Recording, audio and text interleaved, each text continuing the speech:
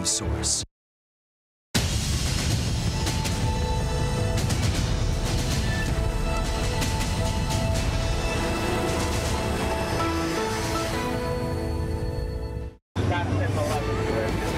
As if sending children back to school during the pandemic was not enough for parents to worry about, in New Jersey today, a school bus carrying 15 students collided with multiple cars. Thankfully, none of the children were injured, despite the bus ending up on top of another car. Tonight, the bombshell book about the incredibly chaotic final days of the Trump administration. Our country's top general reportedly taking secret steps to secure the country's nuclear arsenal in case President Trump went rogue. General Mark Milley, according to the authors, was so fearful he made secret calls to his Chinese counterpart.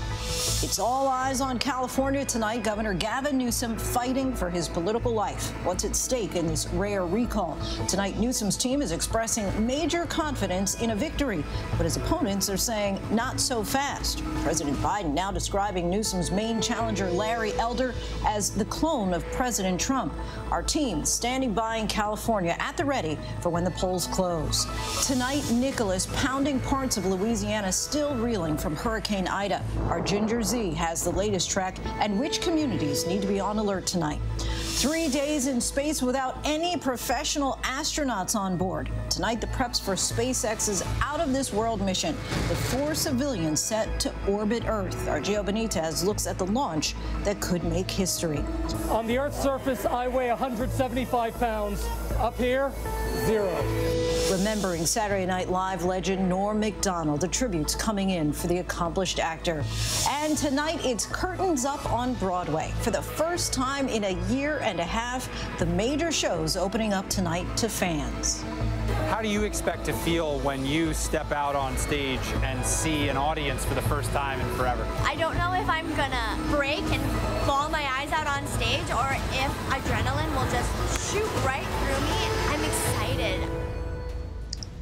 Lots of excitement. Good evening, everyone. I'm Linsey Davis. Thank you so much for streaming with us. We begin tonight with that high stakes California recall election.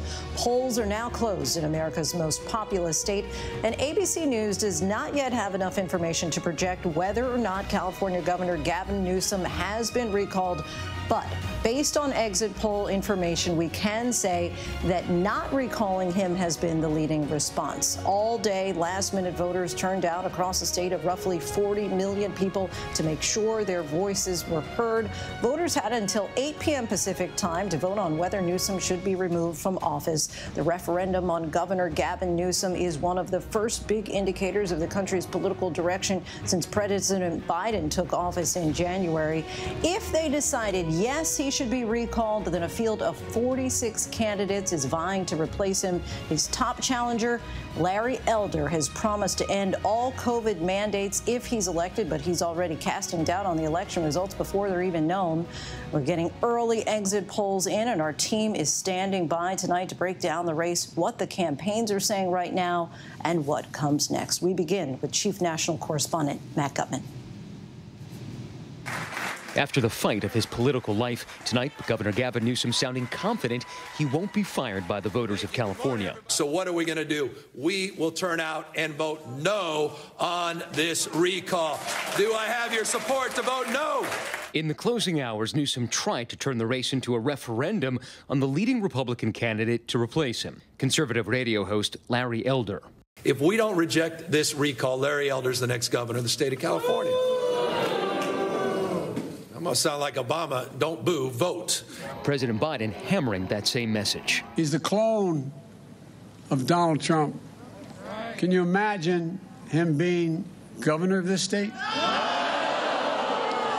Elder is taking a page out of the Trump playbook, already making baseless claims of election fraud before all the votes are even cast. His campaign launching a Stop California Fraud website, essentially saying he had lost and blaming the quote, twisted results of this 2021 recall election. But when the website was launched, not a single result had yet been reported. Still, Elder's website cites what they call statistical analysis, claiming to have detected fraud in California, resulting in Governor Gavin Newsom being reinstated as governor. And when I pressed Elder, he repeatedly ducked the question. Is there any evidence of voter fraud? He doesn't agree with we your have a campaign. Come on. Something he's running for office. Goodbye.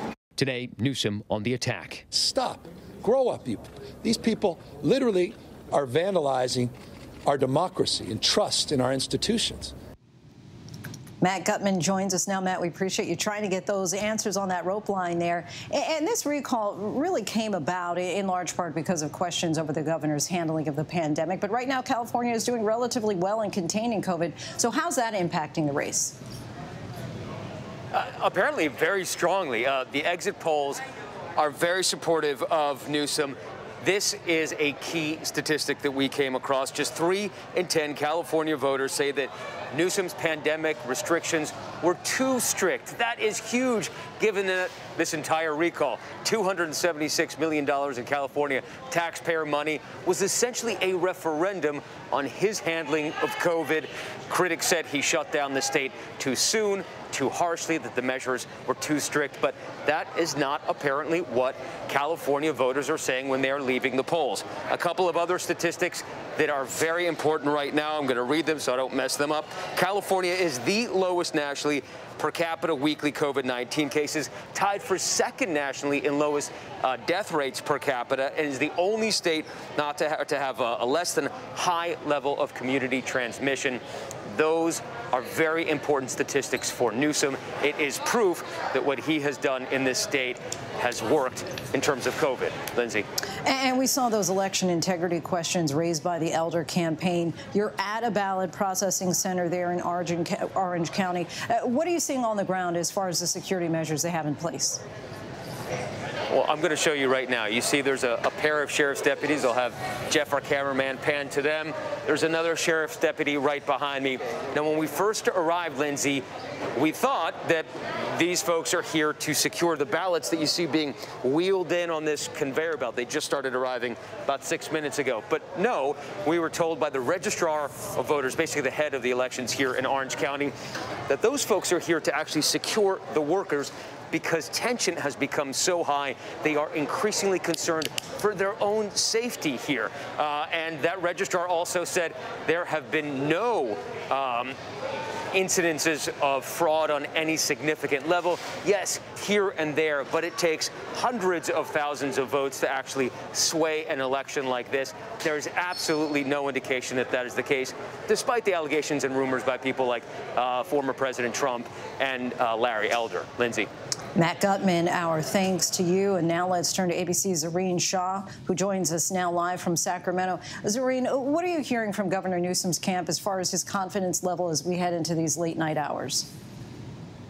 Hi, Linsey. I've been I've been speaking to Newsom staffers all day long, and they are projecting high confidence. I spoke to one of his, his top strategists just earlier this morning, and he says, look, the takeaway is going to be that this governor was bold on COVID. Now, of course, we don't know exactly how this race is going to turn out, but experts say that this that COVID was actually what got him into this mess, and they believe it could actually get him out. Like we were in a, in a bad shape just a few months ago. Those COVID rates were incredibly high, and Newsom staffers, when they looked at the landscape here in California, they noticed that they didn't have an awareness issue, they say. They say they had a persuasion issue. So they went ahead spending millions of dollars trying to get people to know that there was a recall race here today. They spent millions of dollars texting people, calling people, and bringing out those big heavy hitters. You saw those Barack Obama and those Bernie ads. You saw Biden last night in Long Beach campaigning for the governor. And then he brought out several senators and the vice president as well. And that started closing the gap. And you also saw a massive turnout.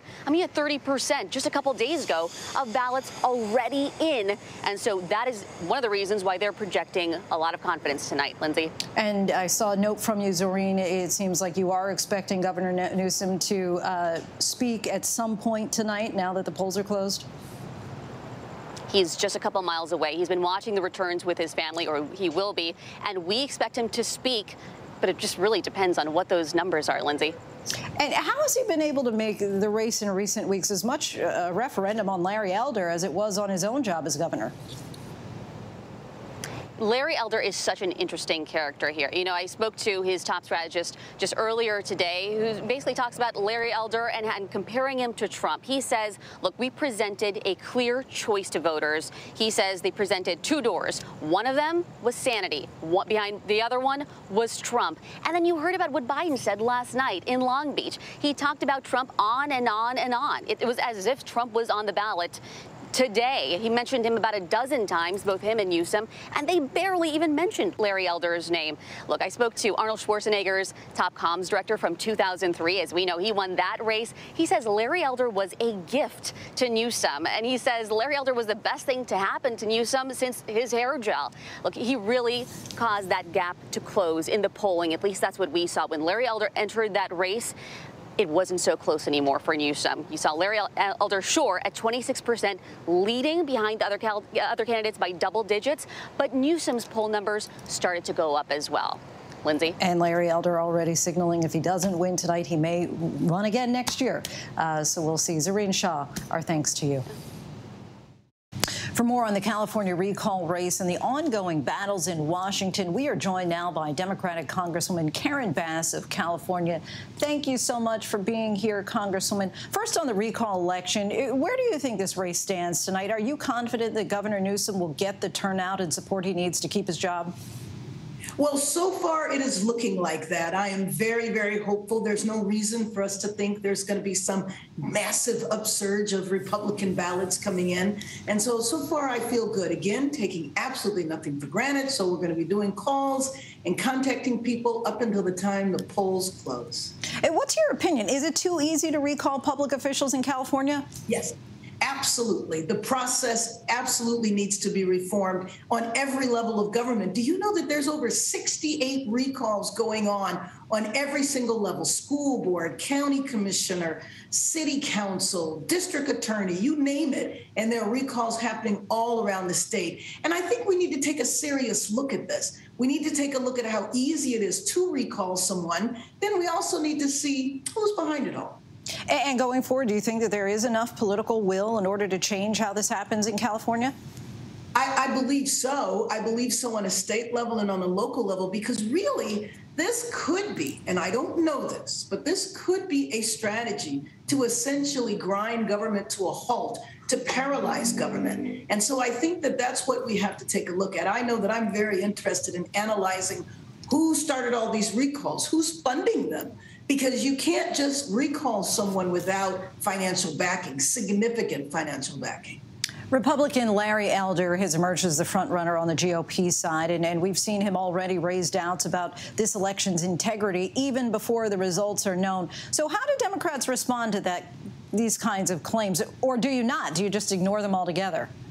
Oh, absolutely not. We cannot ignore them. But I do think that we need to look at it within the national context because there is an undermining of the confidence of the election process nationally. Of course, it started with uh, President Trump uh, what he did on election day. And so now we're questioning the integrity of our election system. And this is so ironic. For somebody like me who focuses on foreign affairs in Congress, we go around the world talking about the strength of our democracy. And then people see all around the country and around the world us questioning the very institution. So I believe that what is behind it is the fact that the Republican Party is using this as a strategy. You don't hear Democrats raising big questions about the integrity of elections. And mind you, the only time Republicans are raising questions about the integrity of elections is when they lose.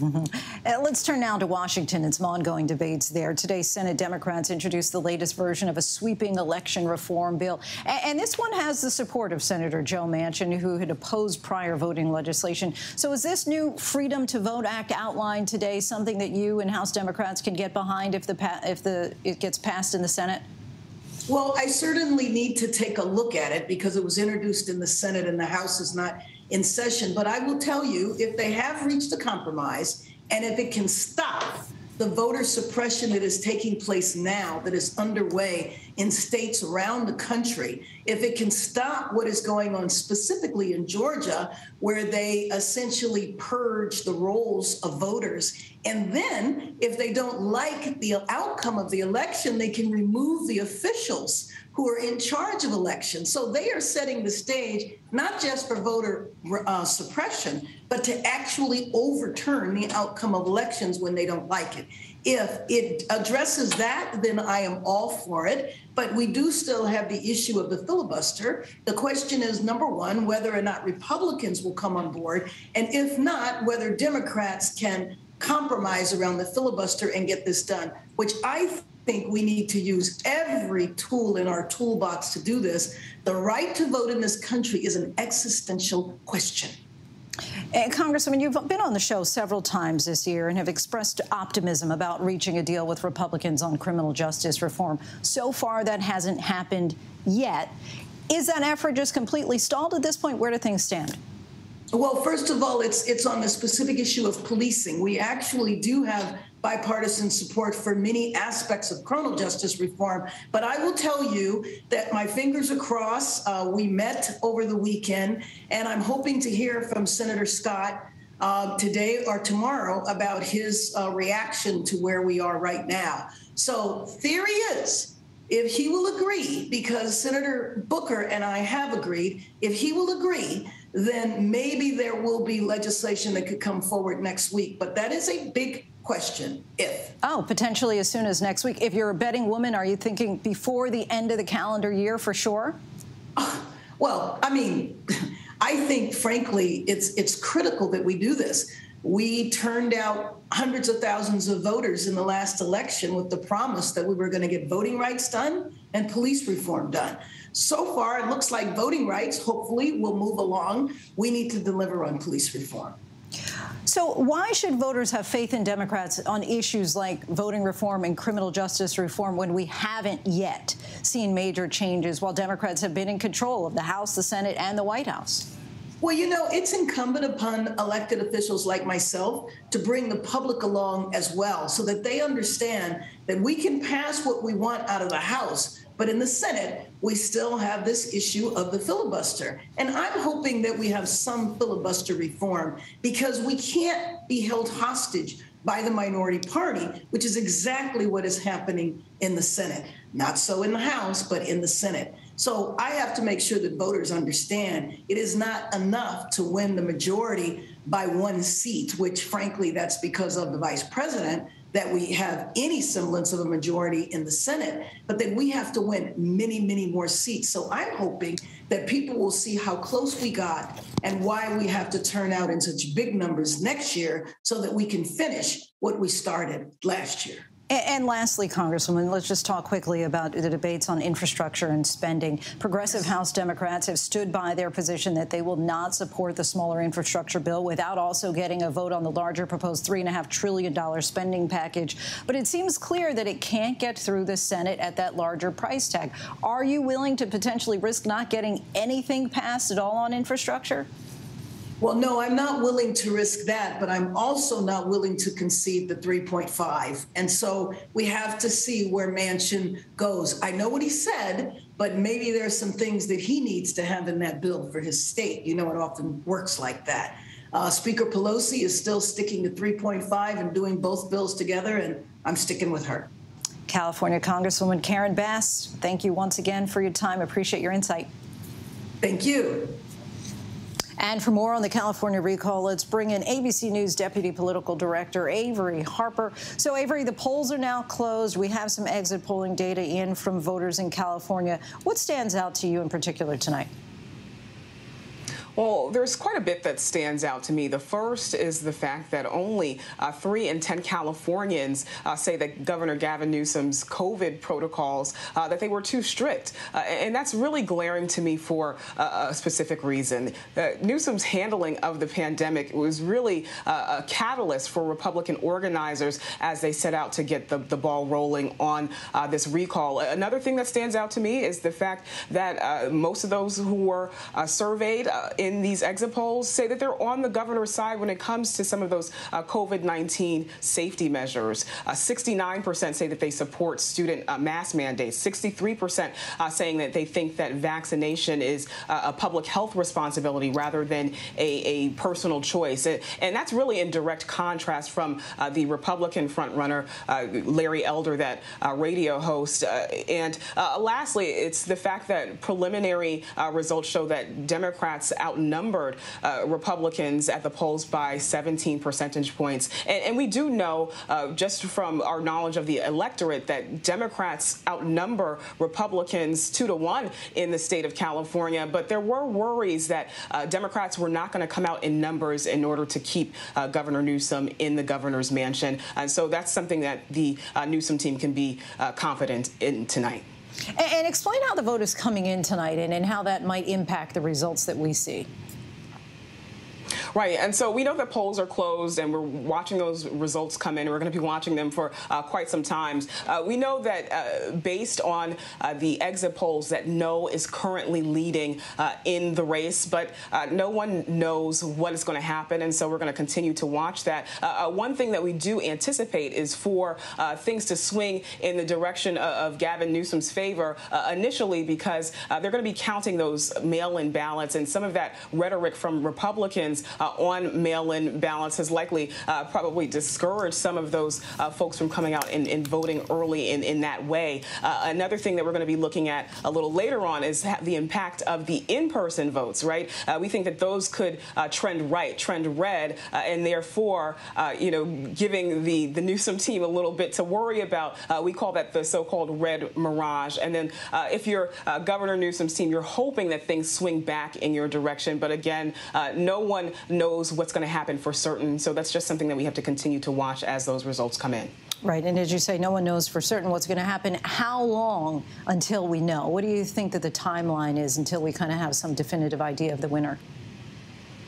Right. Well, it could be a, a couple of hours. We're going to see a steady stream of results coming in uh, from some of the bigger uh, precincts and the bigger counties uh, to all some of those really, really small counties. Uh, and then, or it could be a couple of days. Uh, you know, we plan to be up and watching those results come in for uh, the entire night just to see what happens until we can make a projection. But there is no crystal ball on this. And, and lastly, just lay out the stakes in this race for Democrats and what it could mean for the state of California if Newsom is recalled?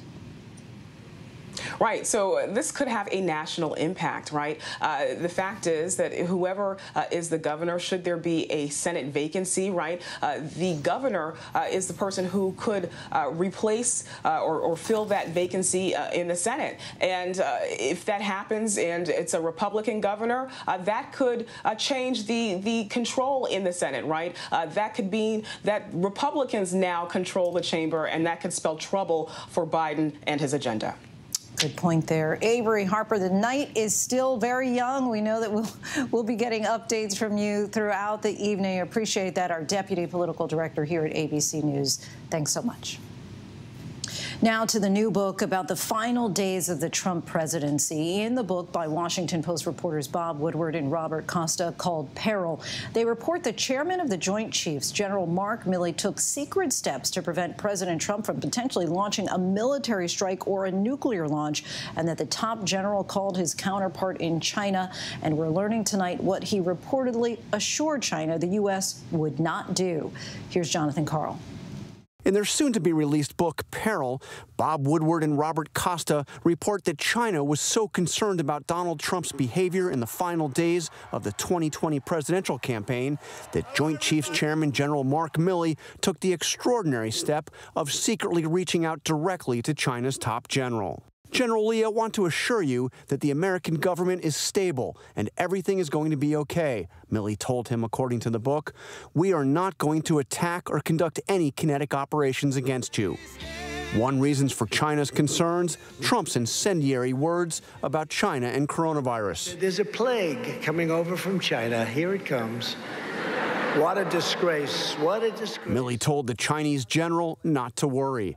If we're going to attack, I'm going to call you ahead of time. It's not going to be a surprise. And after the January 6th Capitol riot, Milley called the Chinese general again, telling him, quote, We are 100% steady. Everything is fine. But democracy can be sloppy sometimes. Shortly after the riot, Speaker of the House Nancy Pelosi called Milley alarmed that Trump was both unstable and dangerous. Milley tried to reassure her, saying there are, quote, a lot of checks in the system. According to a transcript of the call obtained by Woodward and Costa, Pelosi responded, quote, he's crazy. You know he's crazy. He's crazy, and what he did yesterday is further evidence of his craziness. Milley replied, I agree with you on everything. Milley, the author's right, was certain Trump had gone into serious mental decline. During a meeting at the Pentagon, according to the book, Milley, who is actually not in the chain of command, told the top military leadership they were not to sign off on any order to use nuclear weapons without his sign off. No matter what you are told, you do the procedure, Milley told them. You do the process, and I'm part of that procedure. According to the book, Milley looked everyone in the eye and asked each one of them to say they agreed. Really fascinating to hear those details about the level of concern there. Jonathan Karl joins us. And John, you've certainly seen a lot uh, during your years covering President Trump and, of course, over your decades as a journalist. Taking a step back here, how do these claims land with you and also with Bob Woodward, who's so famous for breaking the Watergate scandal? Well, it's just extraordinary because you have to consider what General Milley's job is. The chairman of the Joint Chiefs is not somebody that's actually in the chain of command. The chairman of the Joint Chiefs of Staff is actually the top military advisor to the President of the United States. So here you have the President's top military advisor uh, fearful that he might do something so erratic uh, that he went to these extraordinary steps of actually reaching directly to the Chinese, reaching out out twice to China's top general. And then that moment uh, that Woodward describes of uh, Milley with the top military leadership at the Pentagon going around and telling them that if there is a request to launch a nuclear strike, uh, that they must remember that there is a process and that he is part of the process. Basically, the implication being you don't do anything before talking to me. And it, the, the actual truth of it is that there is a process, and in that case, the, President of the United States doesn't need his chairman of the Joint Chiefs to launch a nuclear strike. He's not in the military chain of command. So it was effectively Milley stepping in to try to prevent Trump from doing something that he was fearful was at least possible uh, that he would try to do. And tell us about President Trump's reaction to this tonight. Uh, the president gave an interview with Newsmax with his former uh, press secretary and said that if it is actually true uh, that, that Milley reached out to the Chinese and, quote, was willing to advise them of an attack or in advance of an attack, that's treason. Uh, Trump also said that the idea that he was going to attack the Chinese, quote, is the most ridiculous thing I have ever heard. But keep in mind, uh, Linsey, that the book uh, also says that Perhaps obviously Milley never told uh, Trump about his conversations with the Chinese or that he had reached out to China's top general. And as for Milley, he has offered no comment yet uh, to what's reported in the Woodward and Costa book. Really interesting stuff. Jonathan Karl, thanks so much. Thank you, Linsey. Now to the latest on COVID and the dangerous surge of cases in children. Tonight, we're getting a clearer picture of when we can expect vaccines for kids and whether booster shots will be recommended for the rest of us. Here's ABC's Stephanie Ramos. For millions of parents eager to know how soon their younger children could finally get a vaccine, tonight a clearer picture. Pfizer today revealing it will submit data from its trial for 5 to 11 year olds to the FDA in early October, followed by trial data for children 6 months to 5 years old in the weeks after. Dr. Anthony Fauci expects the FDA to authorize the first shots for elementary age kids as early as mid October. I believe it will work out this way that by the time we get to the mid fall, October or so, that we will have the, the capability of giving vaccines for Pfizer. We met the Bowie family in New Orleans when all three children took part in Pfizer's vaccine trial at Ochsner Health.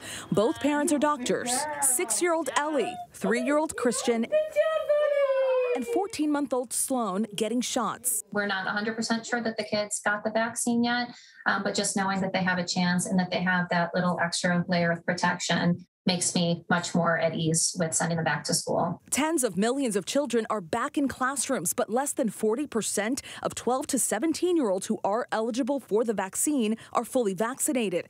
In Ohio, cases spiking 2,000% since early August. Hospitals are full. All of our children's hospitals are overwhelmed Across the country, children making up almost 30% of COVID cases last week. And after two top scientists who are leaving the FDA argued in The Lancet it was premature to give boosters to the general public because the vaccines offer strong protection against serious disease, Dr. Fauci today pushing back. You have clearly waning of immunity against infection and clear cut indication of waning of immunity against severe disease and he expects the FDA advisory panel to support boosters when it reviews the data on Friday. Myself, as a scientist who have seen some of the data, I believe when you look at that data carefully, there's going to be a decision to actually give the boost as opposed to not giving it. Stephanie Ramos joins us now. And Stephanie, we just heard Dr. Fauci predicting the FDA will eventually greenlight these boosters, and word tonight that the UK is already moving in that direction. Exactly, Linsey. It's part of their winter strategy. Britain will give boosters to people over the age of 50, starting with older people, healthcare workers, and those with underlying conditions. Now, the government says the primary choice is the Pfizer booster shot, regardless of what vaccine was originally given. Linsey. Stephanie Ramos, our thanks to you. Now to the tropical threat dumping inches of rain onto some of the very same communities devastated by Hurricane Ida not long ago. Our Victor Oquendo is in New Orleans for us tonight. Hurricane Nicholas hammering the Texas coast in the middle of the night. Rapidly intensifying into a Category 1 hurricane just before landfall south of Houston. The powerful storm surge overtaking roads winds rocking this gas station canopy before sending it crashing into the ground. KTRK's Ted Oberg in the thick of it. This rain not only looks like it's coming in sideways, I can tell you down here it is coming in sideways. Just uh, torrential rain. With daybreak, Nicholas's wrath coming into view, revealing homes ripped apart, parts of roads washed away, winds snapping the blades off this turbine. Our Marcus Moore is outside Houston. The power has been knocked out to so many people across the region. Now crews are working around the clock to get those services back online. The storm now threatening to dump up to 20 inches of rain across Louisiana, where many homes are covered with blue tarps, damaged by Hurricane Ida just over two weeks ago. Families still cleaning up as the new storm moves in. We've been trying to just pick up what we can, but now we have this other storm coming. It's not helping at all. Our thanks to Victor for that. And now let's get right to our Ginger Zee, who is in Laplace, Louisiana, a community that bore the brunt of Ida not too long ago and is now getting pounded again. Ginger, time this storm out for us tonight.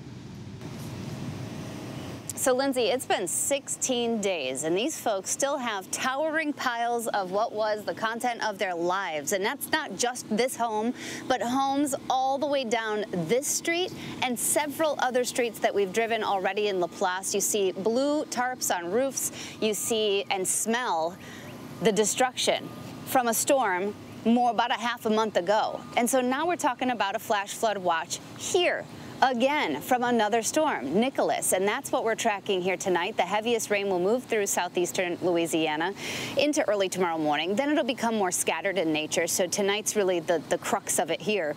But if you're in Mobile or Biloxi over to Pensacola and Destin, you've got it tonight in through tomorrow. And we're going to keep pulling in moisture. Uh, that tropical moisture doesn't stop and the circulation is going to be slow to move.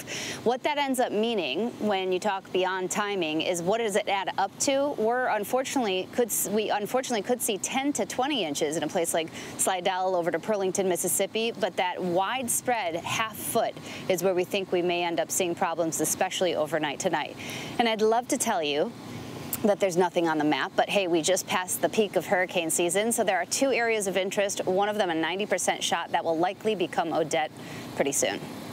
And Ginger, just seeing the, the drone shot there, as you call it, the, the piles of, of what once was, and now uh, this peril that the, the same poor people are about to mm -hmm. go mm-hmm. through again. The tropics certainly slowing, showing no signs of slowing down this season. What happens when we run out of names?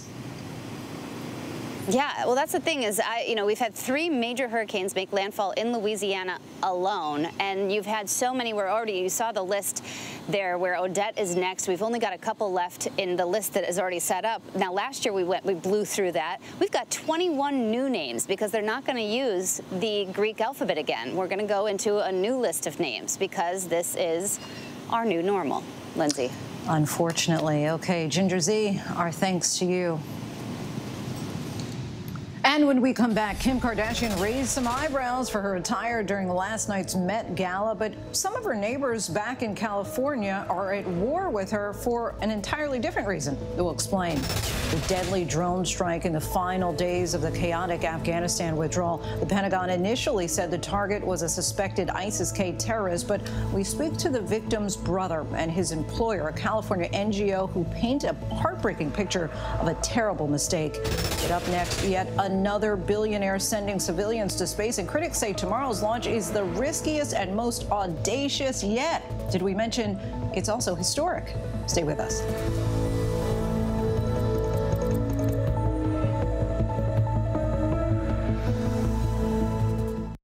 With so much at stake, so much on the line, more Americans turn here than any place else. ABC News World News Tonight with David Muir, America's number one most watched newscast, now streaming on ABC News Live. Admit it. These days, what you need to know seems to change just about every day.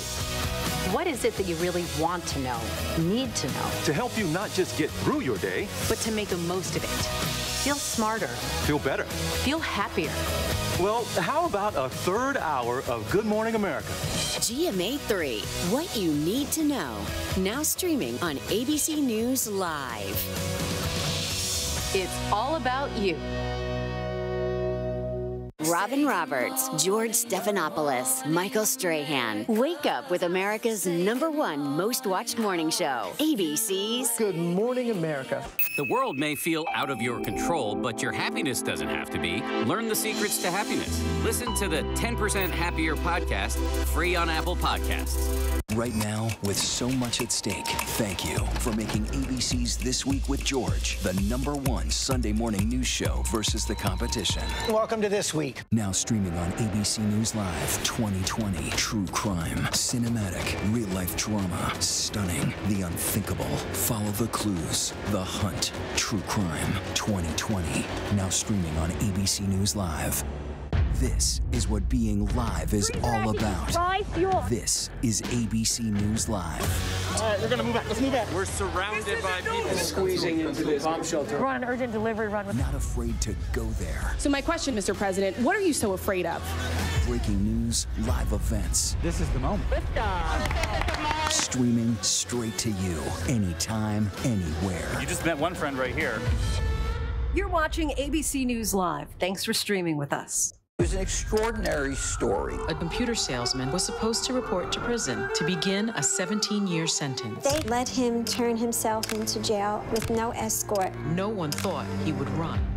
How do you evade capture for 25 years? How do you do that? Now, join the search, following the U.S. Marshals as they uncover new leads in a global manhunt. Can you help catch this fugitive? Have you seen this man? Have you seen this man? Have you seen this man? Listen and join the all new hunt wherever you get your podcasts. Welcome back, everyone. Next to the space flight set to make history around this time tomorrow, if all goes according to plan, SpaceX is sending four civilians into orbit without any astronauts. But that's not the only reason that this launch is expected to be history making. ABC's transportation correspondent Gio Benitez is at the Kennedy Space Center with more. Tonight, SpaceX prepping to launch an all civilian crew into orbit, what could be its most groundbreaking launch yet. Four civilians are set to orbit the Earth with no professional astronauts on board, going farther than any other private citizen has ever gone for three days. SpaceX was founded on the belief that a future where humanity is out exploring the stars is more exciting than a life where we're not. The mission, funded by Jared Isaacman, a 38-year-old billionaire who bought four seats, which typically sell at 55 million each, for an undisclosed amount, giving three away to fundraise for St. Jude Children's Hospital. Getting a seat, engineer and Air Force vet Chris Sembroski, geoscience professor Dr. Sian Proctor, and Hayley Arceneaux As a child, she was a patient at St. Jude. Now she works there. The fact that I'm going to be the youngest American in space really is just absolutely mind blowing to me. And Dr. Proctor will become just the fourth black American woman to go to space. I have this opportunity to not only um, accomplish my dream, but also inspire and inspire the next generation. Liftoff. This launched just months after these high stakes flights. Um, and we've been to space! excuse us, excuse us. Yes, got those wings. Three, two, one, release, release, release. Virgin Galactic's Richard Branson, the first to launch his own spaceship to the edge of the atmosphere. What did you hear? What did you feel when that rocket ignited? Um, you could hear the roar of the rocket pinned into your seat. You're going straight up, going from 0 to 3,000 miles an hour in seven or eight seconds. Jeff Bezos lifting off a week later with his company, Blue Origin. These billionaire space flights are not without controversy and criticism. Beyond the spectacle, some question its timing and safety. When you hear that criticism from folks who say these are just joy rides for very rich people, what do you say? Well, I would say that uh, if I go right back to when I was a child, uh, I started with uh, $200, and that $200 has now built a space company, has employed hundreds of wonderful engineers and scientists, and that technology will trans help transform the Earth. Tomorrow's SpaceX flight is risky. SpaceX, which was founded by another billionaire, Elon Musk, has never sent its Crew Dragon this far into space, 360 miles above the Earth's surface, way farther than Branson and Bezos, and even the International Space Station. The only thing that's different here on this Dragon capsule is they took the docking mechanism that uh, would normally connect into the International Space Station, and they put that that cupola, this this beautiful uh, ability to to look around when they're uh, up in space. So I, I think that's the, really the only change. Other than that, that whole Dragon capsule is the same one that NASA certified and flew their own astronauts on. Virgin Galactic was grounded by the FAA after it learned the rocket had left its planned route for almost two minutes. It is now under investigation by the FAA. Virgin Galactic telling ABC News that high altitude winds changed the ship's trajectory, adding that at no time were passengers and crew put in any danger as a result of this change in trajectory. And at no time did the ship travel above any population centers or cause a hazard to the public. We will continue working closely with the FAA. They want to sort of be seen as this luxury brand catering to, to you know to to the rich and famous, but they are still very much in the in the test phase of the program. Jeff Bezos, the richest man in the world, also criticized for funding a spaceflight program after a bombshell ProPublica report alleging wealthy individuals legally avoided paying their fair share of taxes. I think that even the cynical people and even people who shrugged and said, yeah, sure, we know that wealthy people don't pay a lot of taxes. I hope they were shocked today to learn that Jeff Bezos, the richest man in the world, had two years recently, 2007 and 2011, when he was a billionaire and he paid zero in taxes. And Elon Musk in 2018, zero in federal income taxes. Bezos thanking his workers and his customers after the Blue Origin launch. I also I want to thank uh, every Amazon employee and every Amazon customer because you guys paid for all of this. But despite these concerns, experts say the SpaceX program stands alone among its peers. What Elon Musk has done is to, uh, to create this new Starship rocket and the Falcon 9 rockets that he's doing now to have a very reliable way to get things into space very cheaply. And that is going to be critical. To get ready for weightlessness, the SpaceX crew boarded the zero G plane here on Earth. And so did we. This is how astronauts train. Wow. On the Earth's surface, I weigh 175 pounds. Up here, zero. Zero G inviting us on as pilots fly the plane in specific maneuvers to replicate the microgravity of space. Oh, that feeling of being in zero gravity is so unique and undescribable. And you don't want that first experience to be when you're, you know, in space and things like that. You'll be disoriented. Now, you might be asking, why is any of this important? Well, Elon Musk has said that he wants humans to eventually have a second home on Mars and that this is a first step to get there. So this launch is scheduled for tomorrow night, 8 p.m. Eastern, and we will be right there. Linsey? Our thanks to Gio. Looked like a fun assignment there. You can catch that historic SpaceX launch right here on ABC News Live. Gio and the team will be joining us. Our coverage starts around 7.30 Eastern tomorrow. Still ahead here on Prime, the former officers charged with violating George Floyd's civil rights appear before a federal judge. Broadway is back, and we'll take you to the latest sign of America reopening.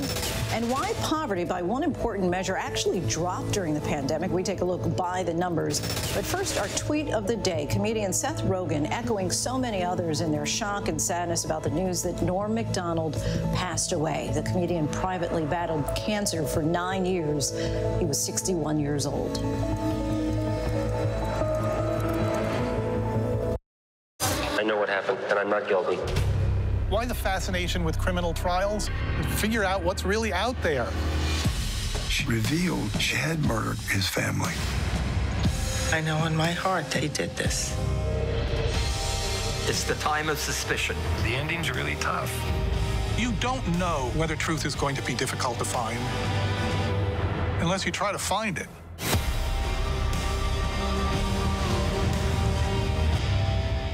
This is what being live is all about. This is ABC News Live. All right, we're gonna move back. Let's move back. We're surrounded by people squeezing into this bomb shelter. We're on an urgent delivery run. With Not afraid to go there. so my question, Mr. President, what are you so afraid of? Breaking news, live events. This is the moment. Streaming straight to you, anytime, anywhere. You just met one friend right here. You're watching ABC News Live. Thanks for streaming with us. Admit it. These days, what you need to know seems to change just about every day. What is it that you really want to know, need to know? To help you not just get through your day, but to make the most of it. Feel smarter. Feel better. Feel happier. Well, how about a third hour of Good Morning America? GMA 3, what you need to know. Now streaming on ABC News Live. It's all about you.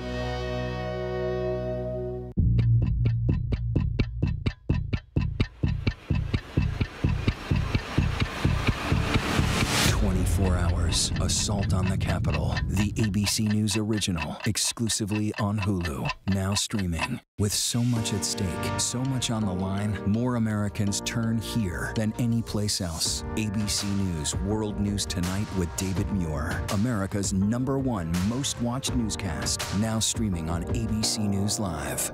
The world may feel out of your control, but your happiness doesn't have to be. Learn the secrets to happiness. Listen to the 10% Happier podcast, free on Apple Podcasts. Robin Roberts, George Stephanopoulos, Michael Strahan. Wake up with America's number one most watched morning show. ABC's Good Morning America. Right now, with so much at stake, thank you for making ABC's This Week with George the number one Sunday morning news show versus the competition. Welcome to This Week.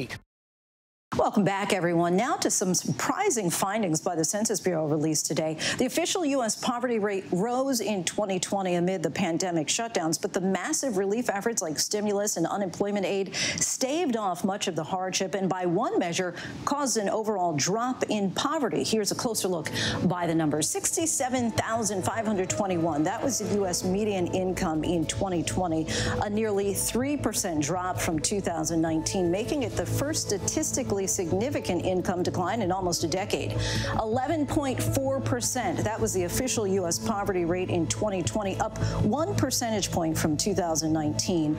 Roughly 37 million Americans now live in poverty, about 3 million more than in 2019. But here's a caveat to that data 9.1%. That's the so called supplemental poverty measure that factors in stimulus payments and other relief. And by that accounting, the poverty rate has dropped 2.6 percentage percentage points from 2019 and is now at its lowest since estimates began in 2009. The Census Bureau said today that the stimulus payments from the nearly $3.5 trillion in COVID 19 relief pulled nearly 12 million Americans out of poverty in 2020. And without that aid, the poverty rate could be much higher. And we still have lots ahead here on Prime. Tonight, the emergency software update released by Apple will explain the major flaw that gave hackers potential access to your device without even clicking on a link. And Supreme Court Justice Breyer, what he had to say about the new Texas law targeting abortions. But first, look at our top trending stories on abcnews.com.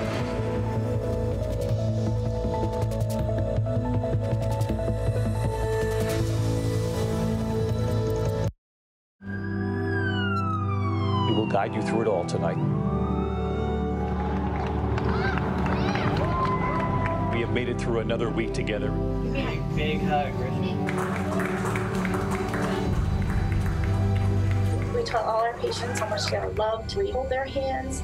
David, we're showing our love and support for all the ICU staff. They're the heroes in this.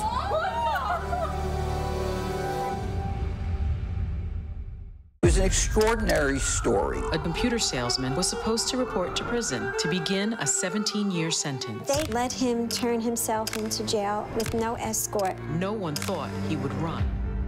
How do you evade capture for 25 years? How do you do that? Now, join the search, following the U.S. Marshals as they uncover new leads in a global manhunt. Can you help catch this fugitive? Have you seen this man? Have you seen this man? Have you seen this man? Listen and join the all new hunt wherever you get your podcasts. The world may feel out of your control, but your happiness doesn't have to be. Learn the secrets to happiness. Listen to the 10% Happier podcast, free on Apple Podcasts. Right now, with so much at stake, thank you for making ABC's This Week with George the number one Sunday morning news show versus the competition. Welcome to This Week. This is GMA3, what you need to know.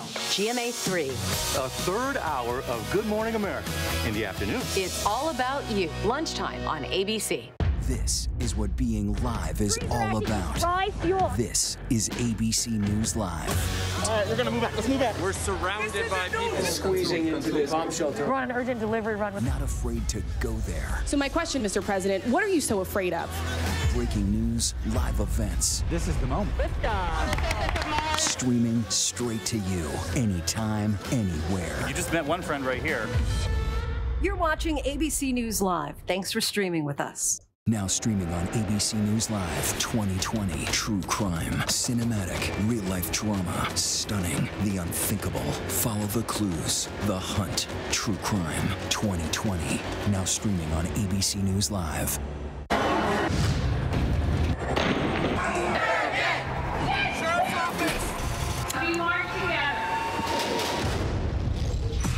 The most powerful stories of our time, anytime.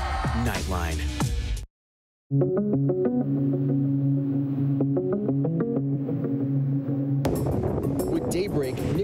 wrath coming into view, revealing homes ripped apart, parts of roads washed away, winds snapping the blades off this turbine. Marcus Moore is outside Houston. The power has been knocked out to so many people across the region. Now crews are working around the clock to get those services back online. The storm now threatening to dump up to 20 inches of rain across Louisiana, where many homes are covered with blue tarps, damaged by Hurricane Ida just over two weeks ago. Apple has launched an emergency software update for its products after it discovered that Israeli spyware could infect iPhones, Macs, iPads, and Apple Watches without even a click. This comes on the heels of Apple's new launch event today, where they unveiled new Apple Watches featuring larger screens and the iPhone 13, where for the first time the Pro version can come with one terabyte of storage. Four former Minneapolis police officers were arraigned in federal court today on charges they violated George Floyd's civil rights. All four pleaded not guilty. Federal grand jury had indicted Derek Chauvin, Thomas Lane, Jay Kueng, and Tou Thao back in May for allegedly depriving Floyd of his rights when they failed to provide him with medical care. Floyd was handcuffed and held face down by Chauvin. Floyd's death led to worldwide protests and calls for police reform. In an interview with George Stephanopoulos, Justice Stephen Breyer said the Supreme Court's decision allowing Texas to effectively ban abortion across the state was very bad, but not politically motivated. I thought that that was a very bad decision, and I dissented. A rule of law means you sometimes follow decisions you don't like. He also said he's thinking about retirement, but gave no word on timing. There are many different considerations, and uh, that I do not intend to die there on the court. I, I hope not. A plea for help. Gabby Petito's family looking for any clues as to what happened to the 22 year old who was on a cross country adventure with her boyfriend when she disappeared. We don't know where she is. A few days is one thing when you're out camping, but um, when it starts to become seven, eight, nine, ten days, that's that's a problem. The New York native was last seen on August 24th checking out of a hotel with laundry in Salt Lake City, Utah. Her mother says she last spoke to her by phone the next day. She told her they were in Grand Teton, Wyoming on their way to Yellowstone National Park.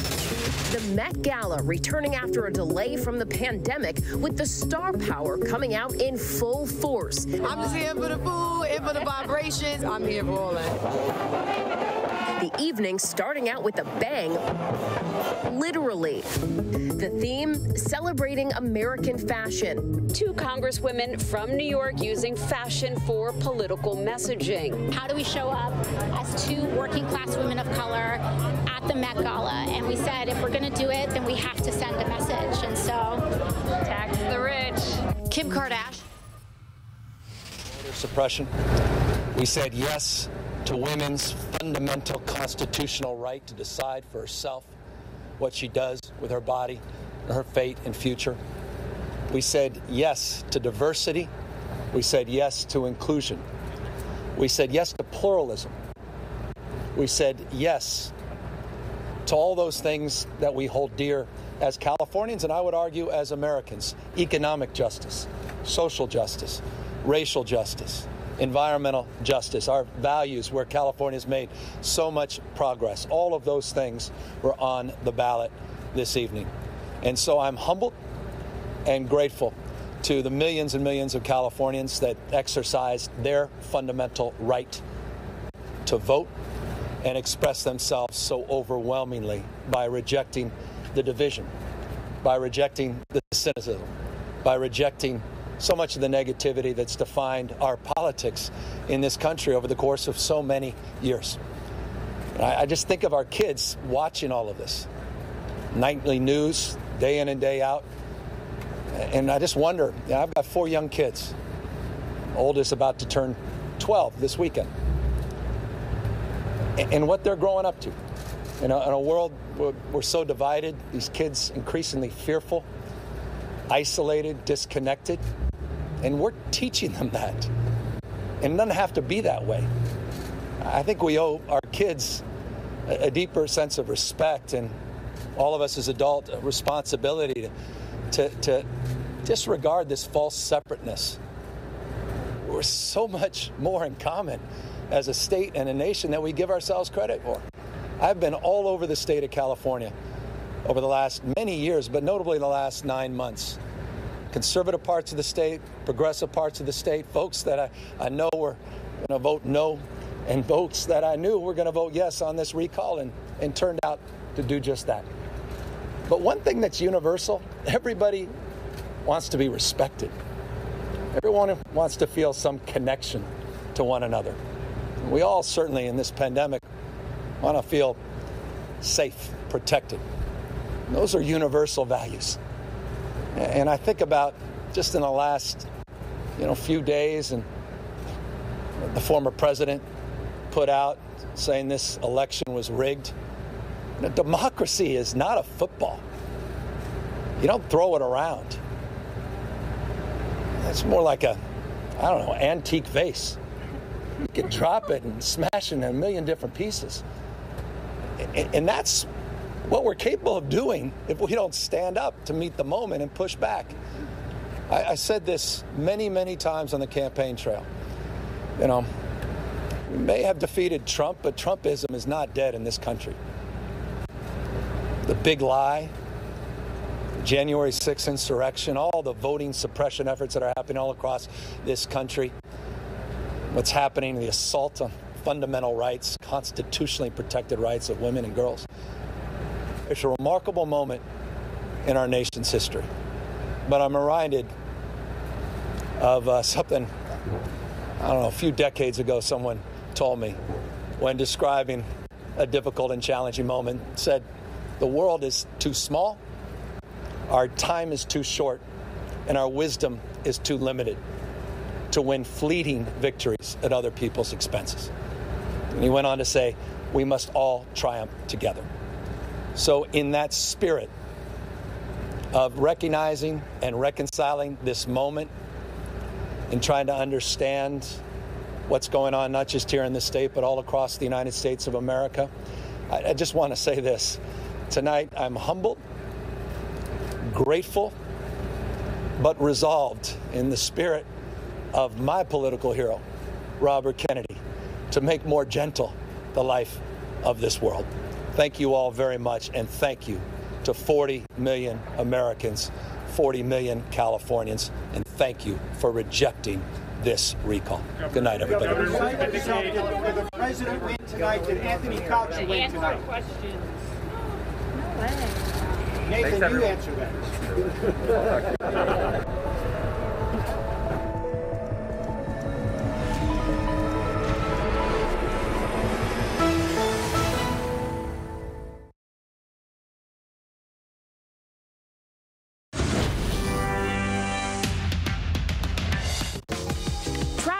Emily Elwood never imagined that they would call Billings, Montana home. Hey, we're not going that way.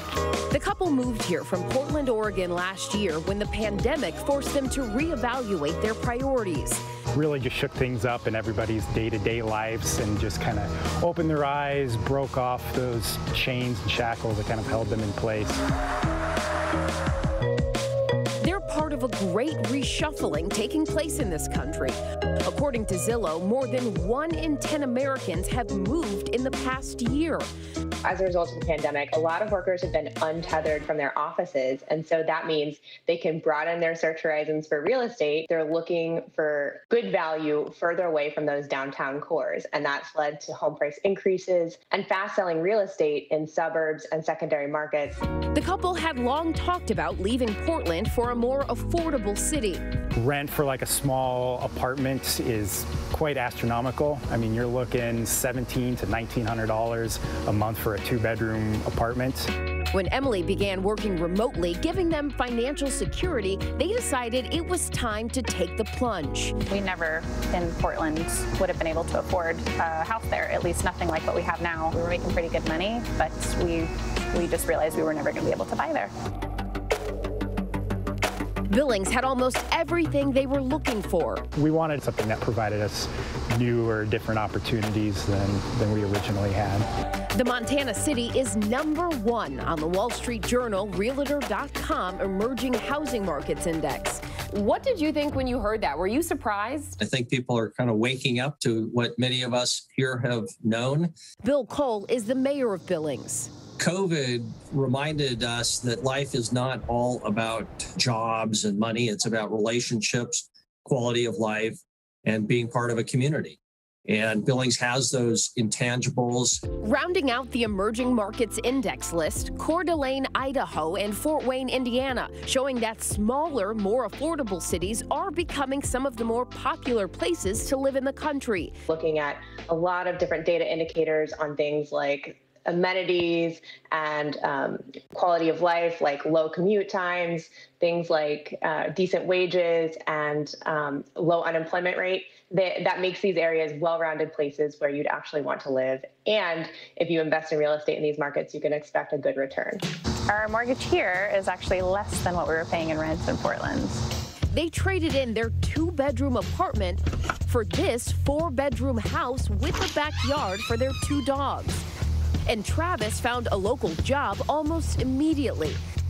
Billings has a population of less than 200,000 people, but its unemployment rate hovers around 3%, lower than the national average. There's a lot of great things that Billings has going for it. It's just beginning to be discovered.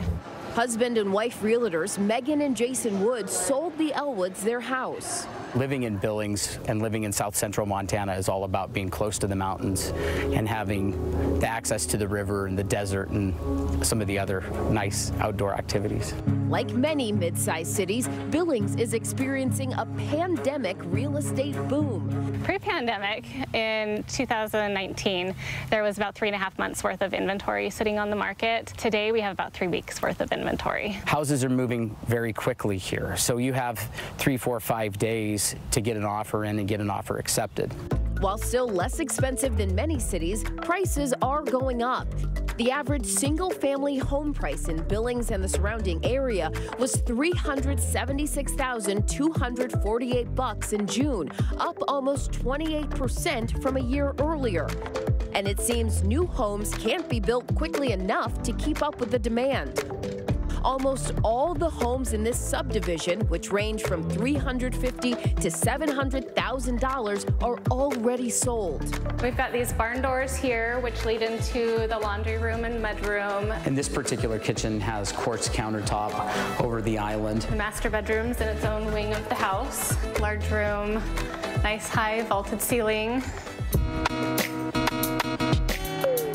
With remote work freeing many people from their daily commute, families looking to stretch their dollar and their square footage are buying up the suburbs too. How do you even sum up what the market is like right now? Janae, it's crazy. it's absolutely crazy. So here's the second bedroom. Pat Davis has been selling real estate in the New Jersey suburbs of New York City for nearly 30 years. You've got skylights here.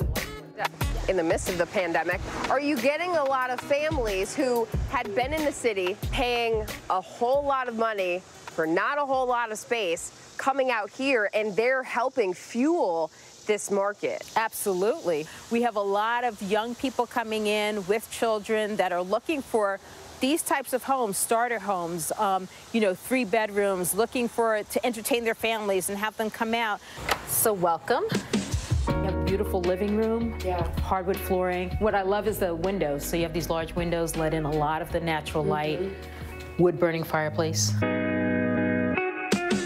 Davis just listed this house in Montclair, New Jersey for $639,000. The town of Montclair has become a magnet for families who want to live in the suburbs but still have easy access to New York City. With its direct trains, highly rated schools, and quaint downtown areas, it is much of what home buyers are willing to pay top dollar for have yeah. a little breakfast nook. This is what everyone loves. White cabinets, mm -hmm. granite counters, stainless steel appliances. Yeah. So it works. It, absolutely, absolutely. What we're seeing is a lot of families with young children two and younger. Yeah. Um, so this is a You're great talking my language. starter home. great starter home, but it could also be beyond, right? Yeah. So starter home plus. Formal dining room, and again, the beautiful accents. Says the house went into contract for more than the asking price after just 13 days on the market. We did weekend open houses, Saturday, Sunday. We had over 50 people come through. But not everyone can afford this. The boom has locked out many first time buyers across the country who are losing their dream homes to all cash above ask offers we quickly became outbid and did not end up getting the house. We kept seeing houses on the market that would be gone within some of them literally 24 hours. It's really disheartening. It's really tough to compete in a market like this if you're a first time home buyer and you don't have the down payment money. If you're using one of the products that's available for people that are first time home buyers that don't have a lot of down yeah. payment money, they're just not able to compete in this marketplace. In Billings, Montana, the Elwoods had to pay over asking price to close the deal on their house. We ended up having to put, you know, about 30,000 more for uh, above the asking price. Um, and even with that, we were one of 10 offers that came in. But for Emily and Travis, their new life in Billings makes it all worth it. I'd do it 100 times over.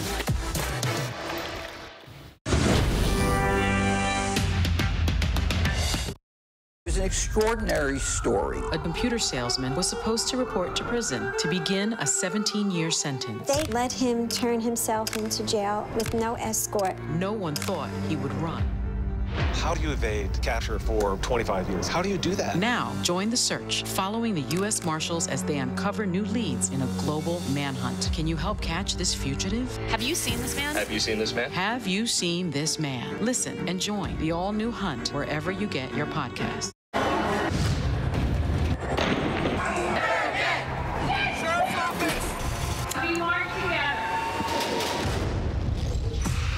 Most powerful stories of our time, anytime. Nightline. Now streaming on ABC News Live 2020. True crime, cinematic, real life drama, stunning, the unthinkable. Follow the clues. The Hunt. True crime 2020. Now streaming on ABC News Live. Admit it. These days, what you need to know Seems to change just about every day.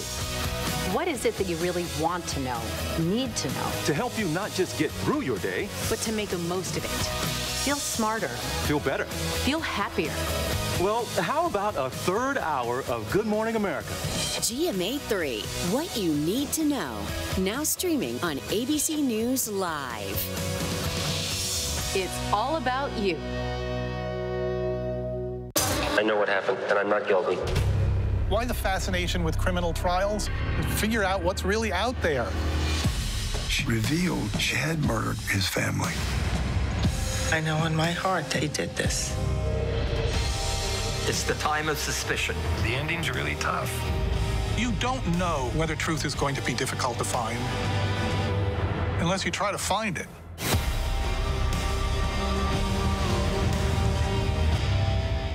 This is what being live is all about. This is ABC News Live. All right, we're gonna move back. Let's move back. We're surrounded by people squeezing into this bomb shelter. We're on an urgent delivery run with. Not afraid to go there. So my question, Mr. President, what are you so afraid of? Breaking news, live events. This is the moment. Streaming straight to you, anytime, anywhere. You just met one friend right here. You're watching ABC News Live. Thanks for streaming with us.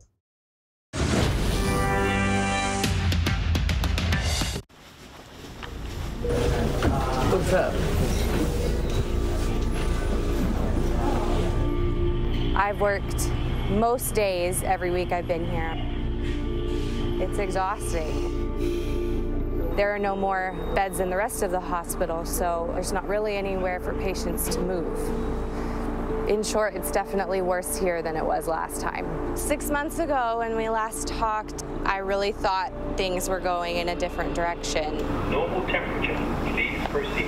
I did not for a second think I would be here again right now. Let me see your skills. My faith keeps me grounded. Go, go, go. My family keeps me grounded. Hi, how are you? Travel nurses are heroes. You rise to the occasion when it matters most. And that's what we are. That's what travel nurses are. That's what we do.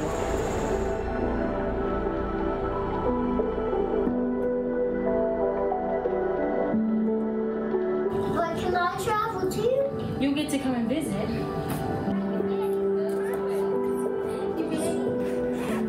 When I'm leaving out again, it's always, well, when will you be back? When should we expect you kind of thing. See you later. You can tell by, you know, how tight the hugs are. Love you.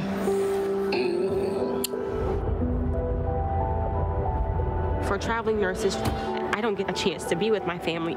I don't get a chance to hug my kids or to kiss my husband every day of the week. And so it's it's a challenge and it's a sacrifice that not everybody is willing to make. It's just that I've been chosen to make it. My name is Decoya Billy. I am a travel nurse. I'm Bridget Harrigan. I'm 28 years old and I am a travel nurse. You miss out on family things, birthdays, and I've missed Christmas before. There are definitely sacrifices. New York's first case of coronavirus affected a 39 year old healthcare worker who had World just Health Organization now declaring a global pandemic. I knew I had to go. There was no question about it. They assigned me to Elmhurst Hospital in Queens, New York. The epicenter of the epicenter. Doctors on the front lines warning hospitals are increasingly overwhelmed. My first assignment was here in New York. It was scary. You think about the lives lost and, you know, the families that were hurting. Um, you think about your own family. I have Jalen. I have Elijah. Hi guys. And then I have Carrington. He's the oldest of the twins. She wants to say hi. And then Kinsley is the youngest, and she's the only girl. I figured, okay, this is serious. It's not going anywhere. I still need to help provide for my family. The, twins were about three months old. I was pumping because they were premature. My husband, he told me as long as I have milk, then I am good to go. When we explained it to the children, we just basically said that mom has a work assignment. She'll be gone for a little bit, but she'll be back.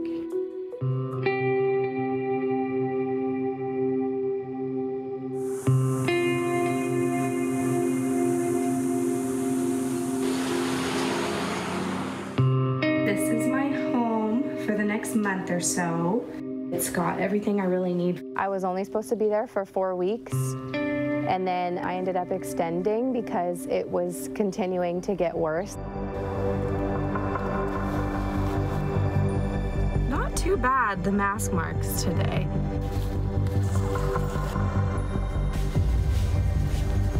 I was about two weeks into my assignment. I started to feel badly. I have a fever now, 100.7.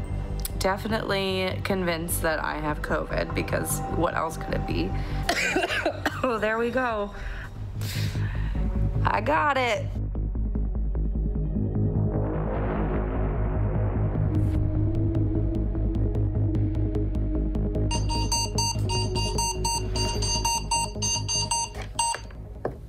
Rise and shine. Today is day 12 of 20 something. I had lost count. And I'm tired. But you push on another day to help those in need.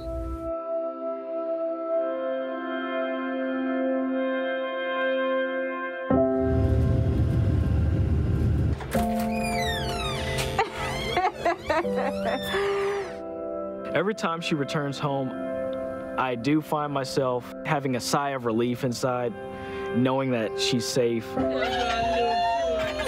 Getting to spend that quality time with my family uh, definitely makes it harder to leave.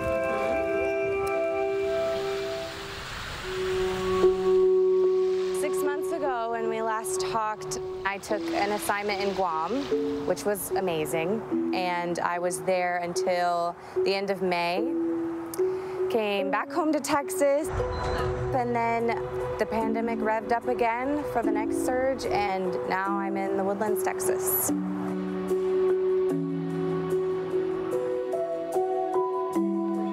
It is insane here.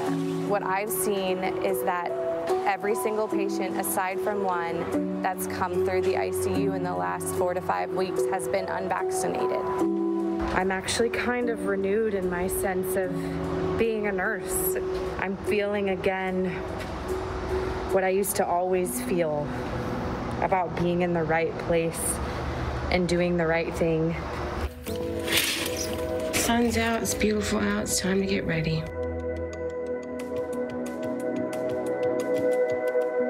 Uh, the CDC says that you're to isolate for 10 days. We see on average about 350 patients a day. Let's confirm your name and date of birth, please. Six months ago, um, patients were rushing in to get tested because of the unknown.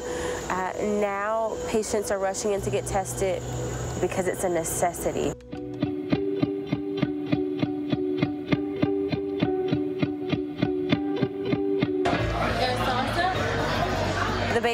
Crawling. They're now full on running, climbing. Yay!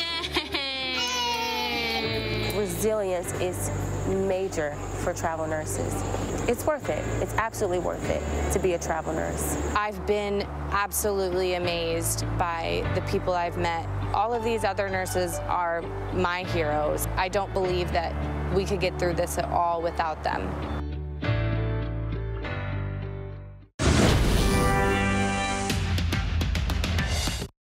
An extraordinary story. A computer salesman was supposed to report to prison to begin a 17 year sentence. They let him turn himself into jail with no escort. No one thought he would run. How do you evade capture for 25 years? How do you do that? Now, join the search, following the U.S. Marshals as they uncover new leads in a global manhunt. Can you help catch this fugitive? Have you seen this man? Have you seen this man? Have you seen this man? Listen and join the all new hunt wherever you get your podcast.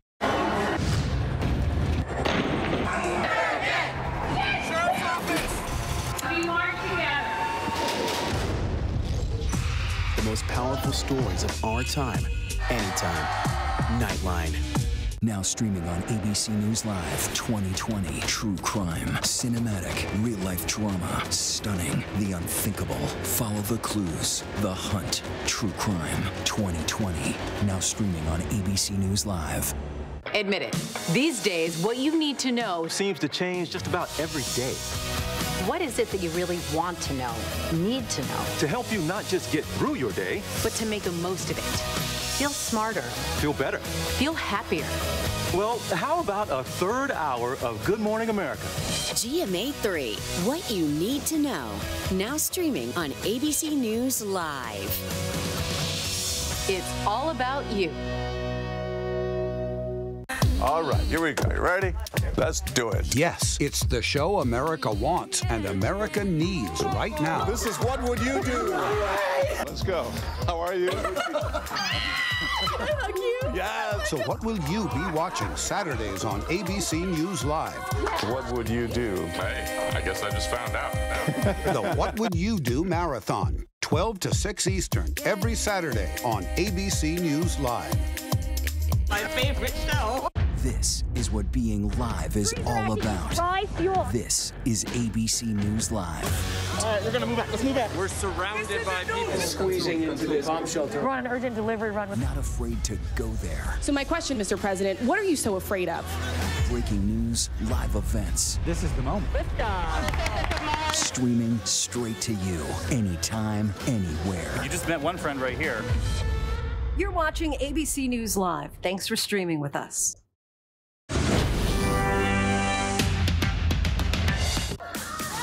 The star-studded event attracting some of the biggest celebrities and their unique outfits.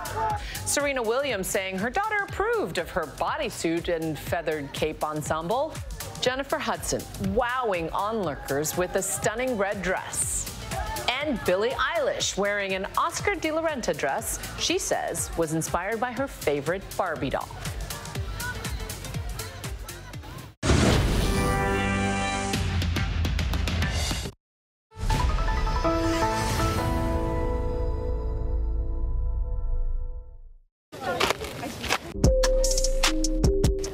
Her teammates are taking the field with a game plan.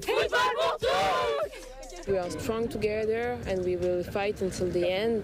We will fight uh, until every woman can play the sport that she wants to play, how she wants to play it. For the past year, Awa's team, the Hijabeuses, has been fighting to play in official matches without having to remove their hijabs. And while FIFA, soccer's world governing body, has allowed the Muslim veil on the pitch since 2014, the French Football Federation bans it. But a group of French women is working to change that, campaigning to open the beautiful game to all women, regardless of attire. Playing soccer as a team, it's a moment of union, of gathering together. But these women have to meet in small suburban soccer fields like this one. Awa is only 19, and sports is in her blood. We won the first place. We were very proud of us and uh, it was a great time. And she says playing soccer with her hair covered has also made her an activist. I think that we should express more ourselves. We should uh, raise our voice and tell what's, uh, what we don't like, what we don't appreciate. Tell that it's all right to play with our hijab. In fact, all the way to the Olympics, female athletes are discarding dress codes.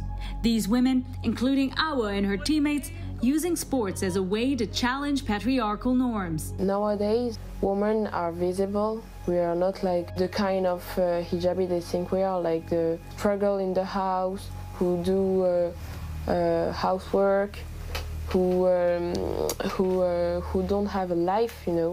And when they see a young woman wearing it, doing sports, educated, they don't want to say that because it's in contradiction with the vision that they have of the hijab.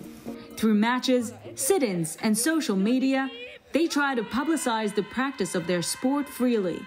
Yet France, citing safety concerns and secularism, are known in French as laïcité, is the only European country to ban religious signs on the field. In a statement, the French Football Federation saying it promotes and defends the values of secularism, living together, neutrality, and the fight against all forms of discrimination. They are banning the hijab because of uh, security and hygiene, uh, which is uh, which is the make nonsense. And it ended up uh, me choosing, having to choose between, you know, my passion and my faith. So um, it was a rough kind of part of my journey.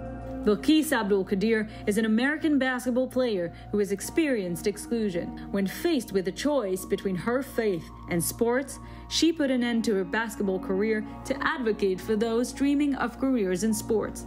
In 2017, her efforts paid off when FIBA, the Federation of International Basketball, amended its rules to allow head coverings, citing that there were no safety concerns to players' health. Now, Muslim women, not only Muslim women, but Jewish men who wear yarmulkes and Sikh men who wear turbans can all participate. And so this rule change was, was big for just the greater good. I lost my shot. However, I see the fruits of it now. Despite progress around the world, the veil is still at the heart of a national conversation in France, mainly because of what proponents call Republican values. Laïcité, c'est le principe qui euh, fait que l'État, depuis 1905, est reconnu comme neutre, c'est-à-dire que l'État ne reconnaît aucune religion. French Senator Agnès Canayer argues that allowing religious signs and garbs on the field could lead to radicalization. Nous, notre volonté euh, en, en, France, c'est de fixer des limites suffisamment claires pour permettre l'exercice de ses convictions religieuses, de sa religion, dans la sphère privée, dans le cadre euh, des enceintes religieuses, des lieux cultuels euh, qui existent, qu'ils soient musulmans, qu'ils soient catholiques ou autres, mais de faire en sorte de ne pas avoir la possibilité de laisser s'épanouir des idées Euh, radicales qui se basent sur la religion et qui prônent l'atteinte aux institutions euh, et qui prônent la fracture de la société française. This month, the French parliament passing a new law on separatism, which critics say further stigmatizes Muslims. For Rim-Sarah Alouane, a lawyer and a researcher on religious freedom, the laws restricting access to hijabis are rooted in racism. There was a time when the French had unveiling ceremony, and you had a bunch of French women surrounding a Muslim woman wearing a headscarf, uh, celebrating the fact that she would remove her headscarf, usually by force, obviously, uh, and to say, now you're welcome in our society. Athletes are not the only ones banned from wearing religious garbs. French state workers and students also falling under the ban. But proponents of the ban say the laws don't go far enough in restricting religious expression. Non, nous pensons que ça n'interdit pas l'expression de la religion ni d'avoir des convictions religieuses, euh, dès lors que ces convictions religieuses, elles restent dans la sphère privée. For Awa, it's a battle she fights every day. In the subway, I'm not feeling comfortable because uh, I saw people fixing me. Uh, they're, they're like, what is she doing here? Awa and her team have yet to hear back from the French Football Federation. Until then, they'll keep fighting for equality on and off the field.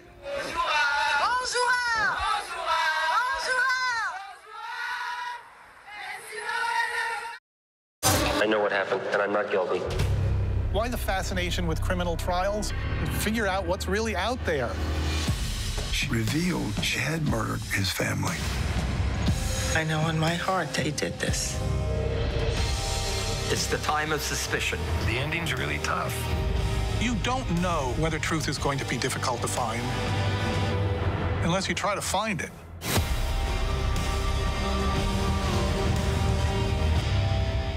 This is what being live is all about. This is ABC News Live. All right, we're gonna move back. Let's move back. We're surrounded by people squeezing into this bomb shelter. We're on an urgent delivery run. With- Not afraid to go there. So, my question, Mr. President, what are you so afraid of? Breaking news, live events. This is the moment. Streaming straight to you, anytime, anywhere. You just met one friend right here. You're watching ABC News Live. Thanks for streaming with us. Admit it. These days, what you need to know seems to change just about every day. What is it that you really want to know, need to know? To help you not just get through your day, but to make the most of it. Feel smarter. Feel better. Feel happier. Well, how about a third hour of Good Morning America? GMA 3, what you need to know. Now streaming on ABC News Live. It's all about you.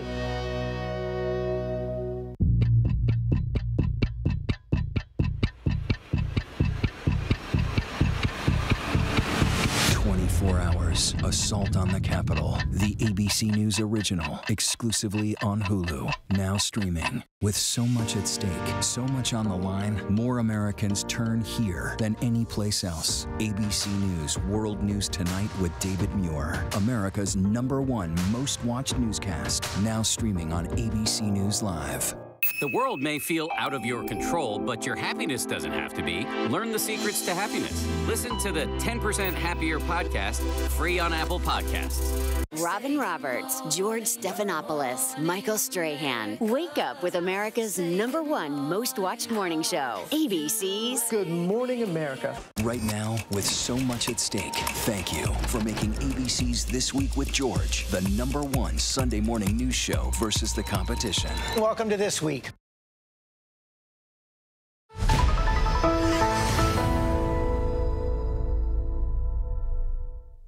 Representatives from around the world, including in the U.S., are considering growing calls to boycott the 2022 Beijing Winter Olympics over China's alleged human rights abuses, specifically allegations of rampant mistreatment and even genocide against the country's Muslim population in its northwest province. They're accused of forced labor and the detaining of millions of Muslims in re education camps, forcing them to work in textile factories and more. Our Bob Woodruff has been covering this story for years and following several Muslim families as they move from country to country, seeking a place where they feel safe. His travels have taken him from Kazakhstan to Turkey and now here inside the U.S.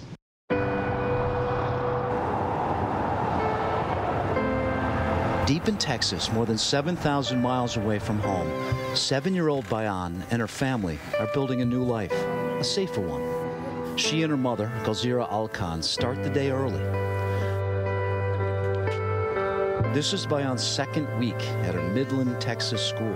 Their friend from Kazakhstan is here too. Hi, how's your English? One, two, three. One, two, three, four, five, six, seven, eight, nine, ten. Yes, high five. When we last met them in the city of Almaty in Kazakhstan two years ago, they were all terrified.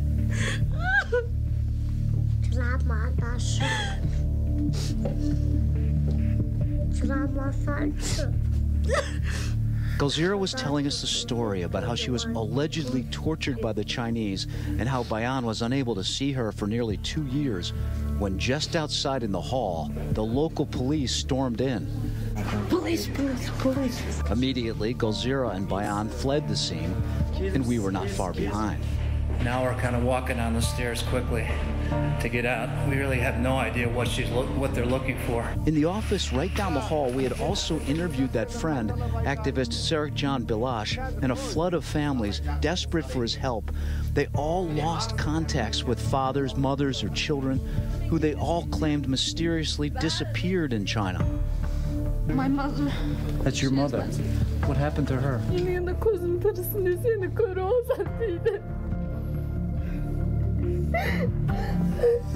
Bilash was arrested not long after we left, ultimately allowed to avoid prison, he says, only if he agreed to stop representing Muslim Turkic families or anti Chinese protesters in the future.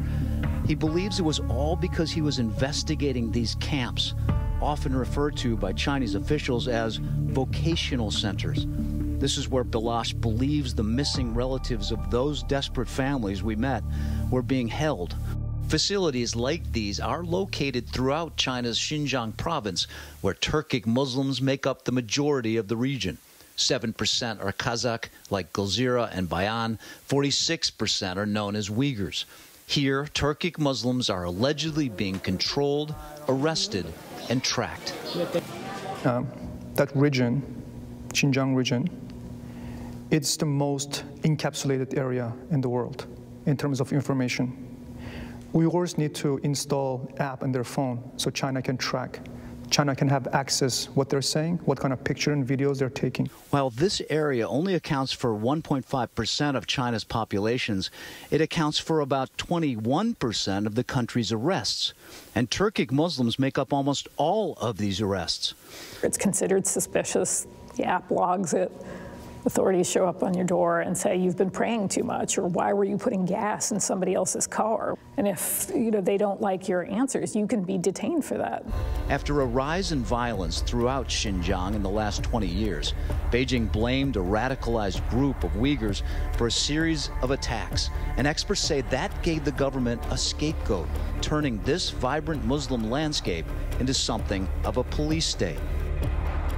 Locking up 10% of the region's population is not an appropriate response. The overwhelming majority of people who have been detained are not uh, in any way alleged to have broken a discernible law.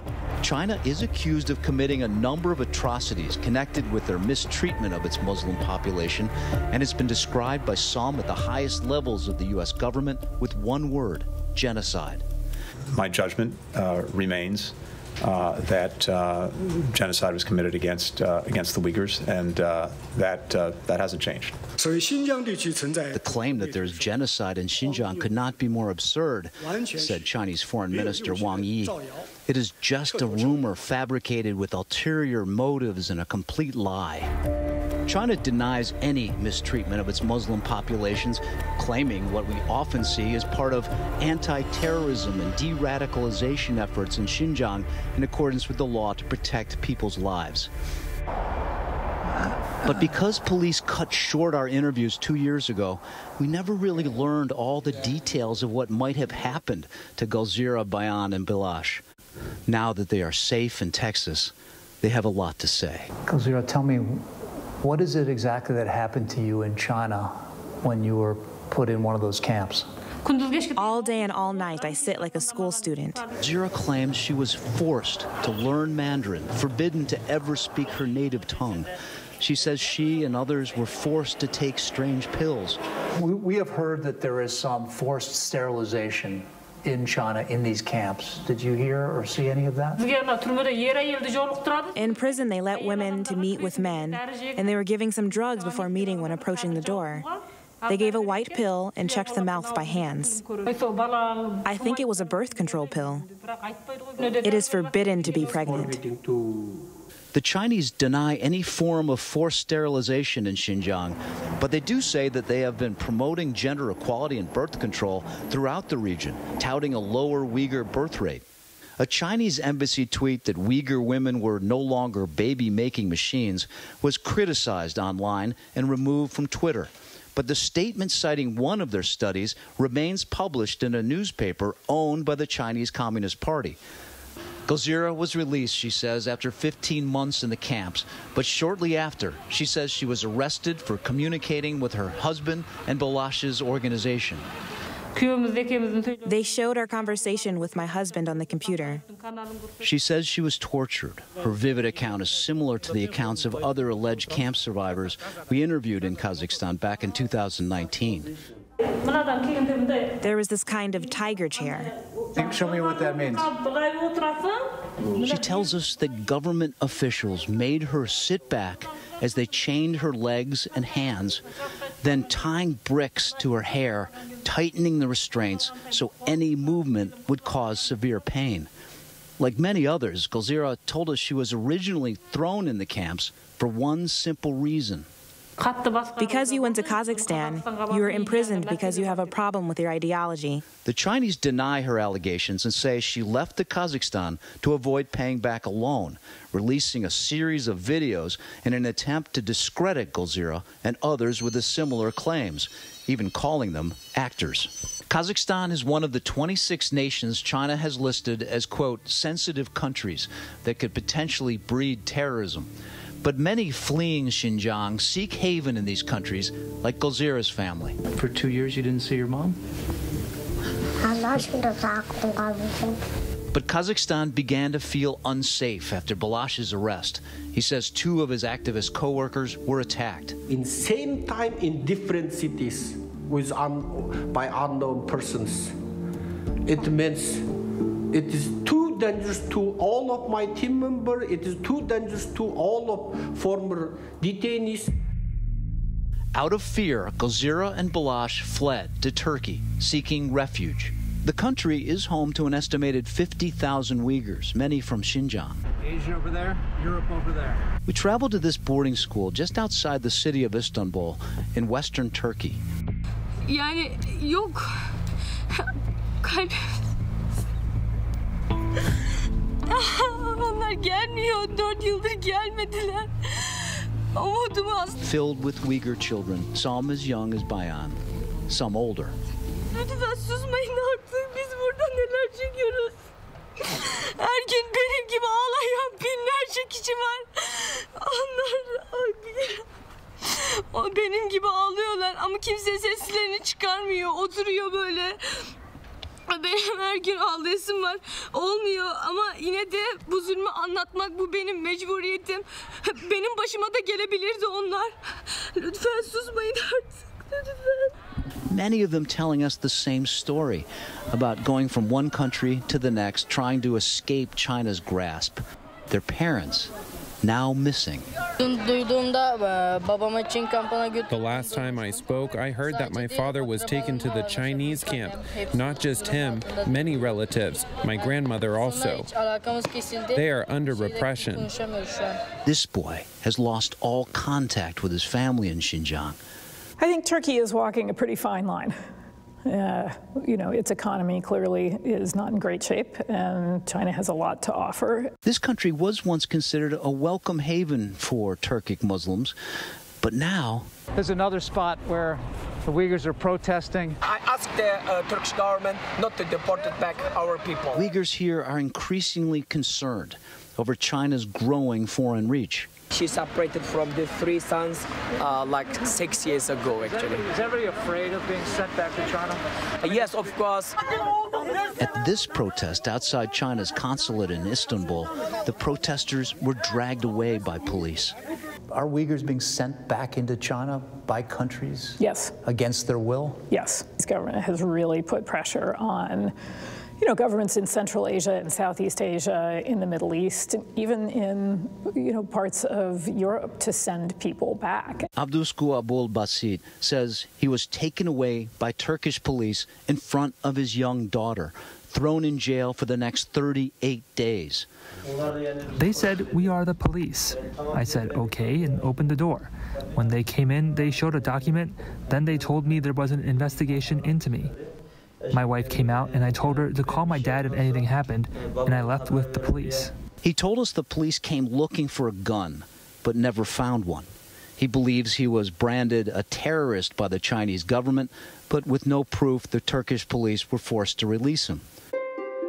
With growing fears that China's influence could reach Bilash and Gulzira's family in Turkey, they fled once again, this time here, the United States perhaps one of the few real safe havens for this community.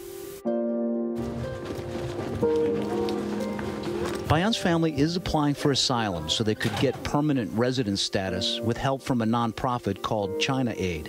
When you landed in the United States, what did it feel like? I felt happy when I arrived to America. I'm happy that I'm alive. I'm here abroad. There are so many Kazakh and Uyghur people suffering like me. In this country, Gulzira's daughter can celebrate her heritage with her family, a privilege not afforded to others.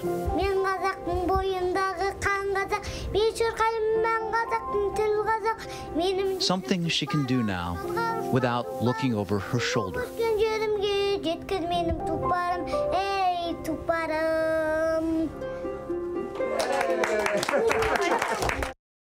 All right, here we go. You ready? Let's do it. Yes, it's the show America wants and America needs right now. This is What Would You Do? Let's go. How are you?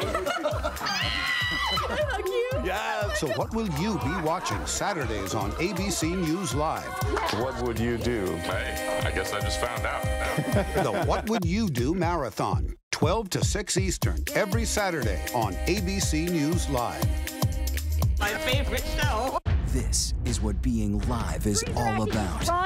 This is ABC News Live. All right, we're gonna move back. Let's move back. We're surrounded by people squeezing into this bomb shelter. We're on an urgent delivery run. Not afraid to go there. So my question, Mr. President, what are you so afraid of? Breaking news, live events. This is the moment. Streaming straight to you, anytime, anywhere. You just met one friend right here. You're watching ABC News Live. Thanks for streaming with us. Admit it. These days, what you need to know seems to change just about every day. What is it that you really want to know, need to know? To help you not just get through your day, but to make the most of it. Feel smarter. Feel better. Feel happier. Well, how about a third hour of Good Morning America? GMA 3, What You Need to Know. Now streaming on ABC News Live. It's all about you.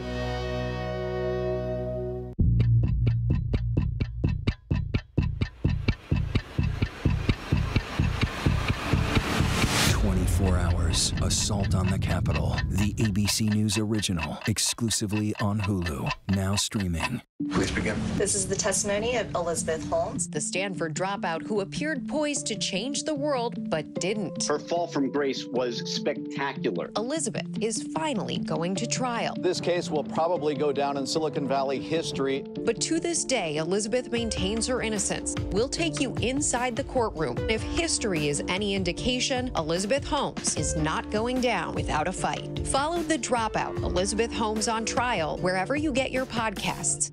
With so much at stake, so much on the line, more Americans turn here than any place else. ABC News World News Tonight with David Muir, America's number one most watched newscast, now streaming on ABC News Live.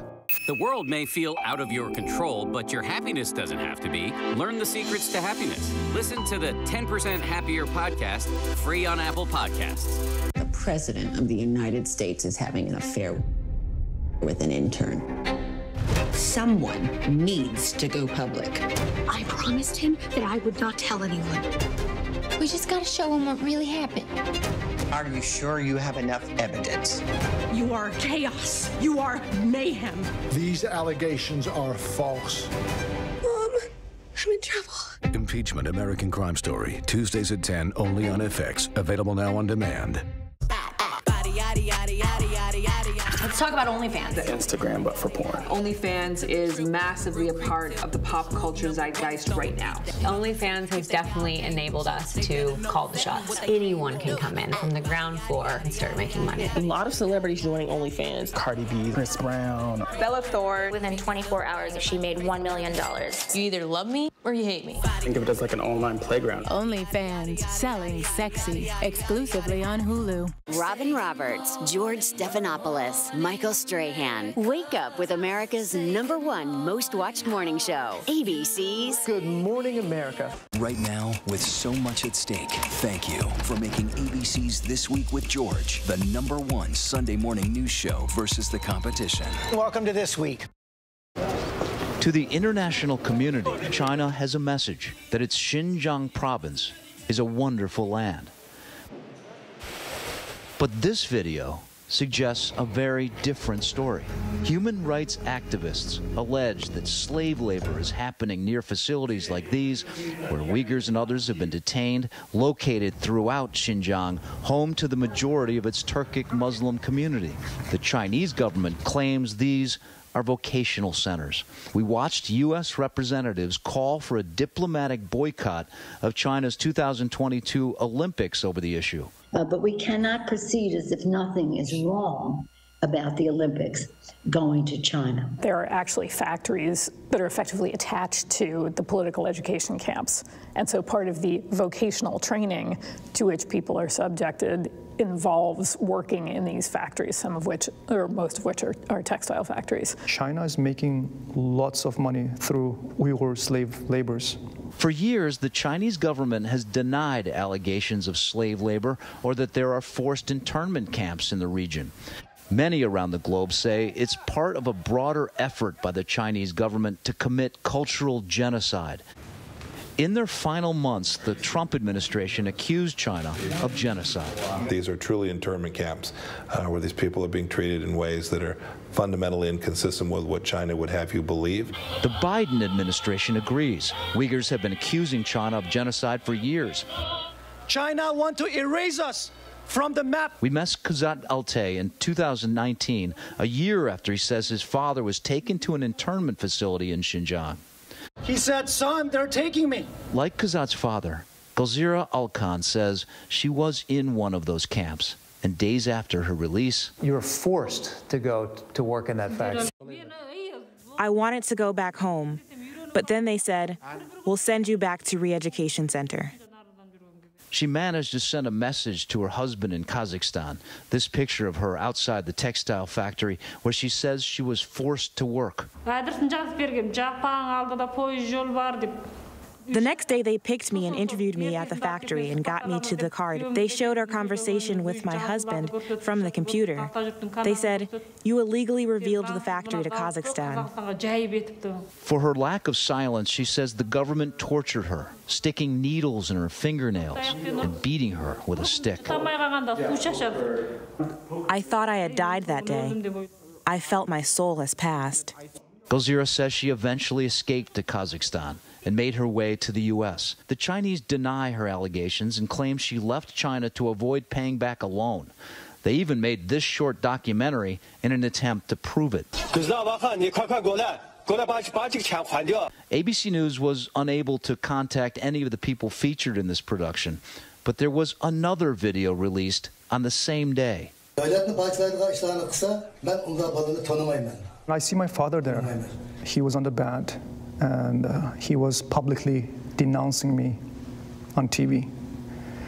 Kuzzat is convinced his father and others were forced to make these videos. He started slowly contacting me through WeChat, and uh, he said, You know, they're asking you to stop.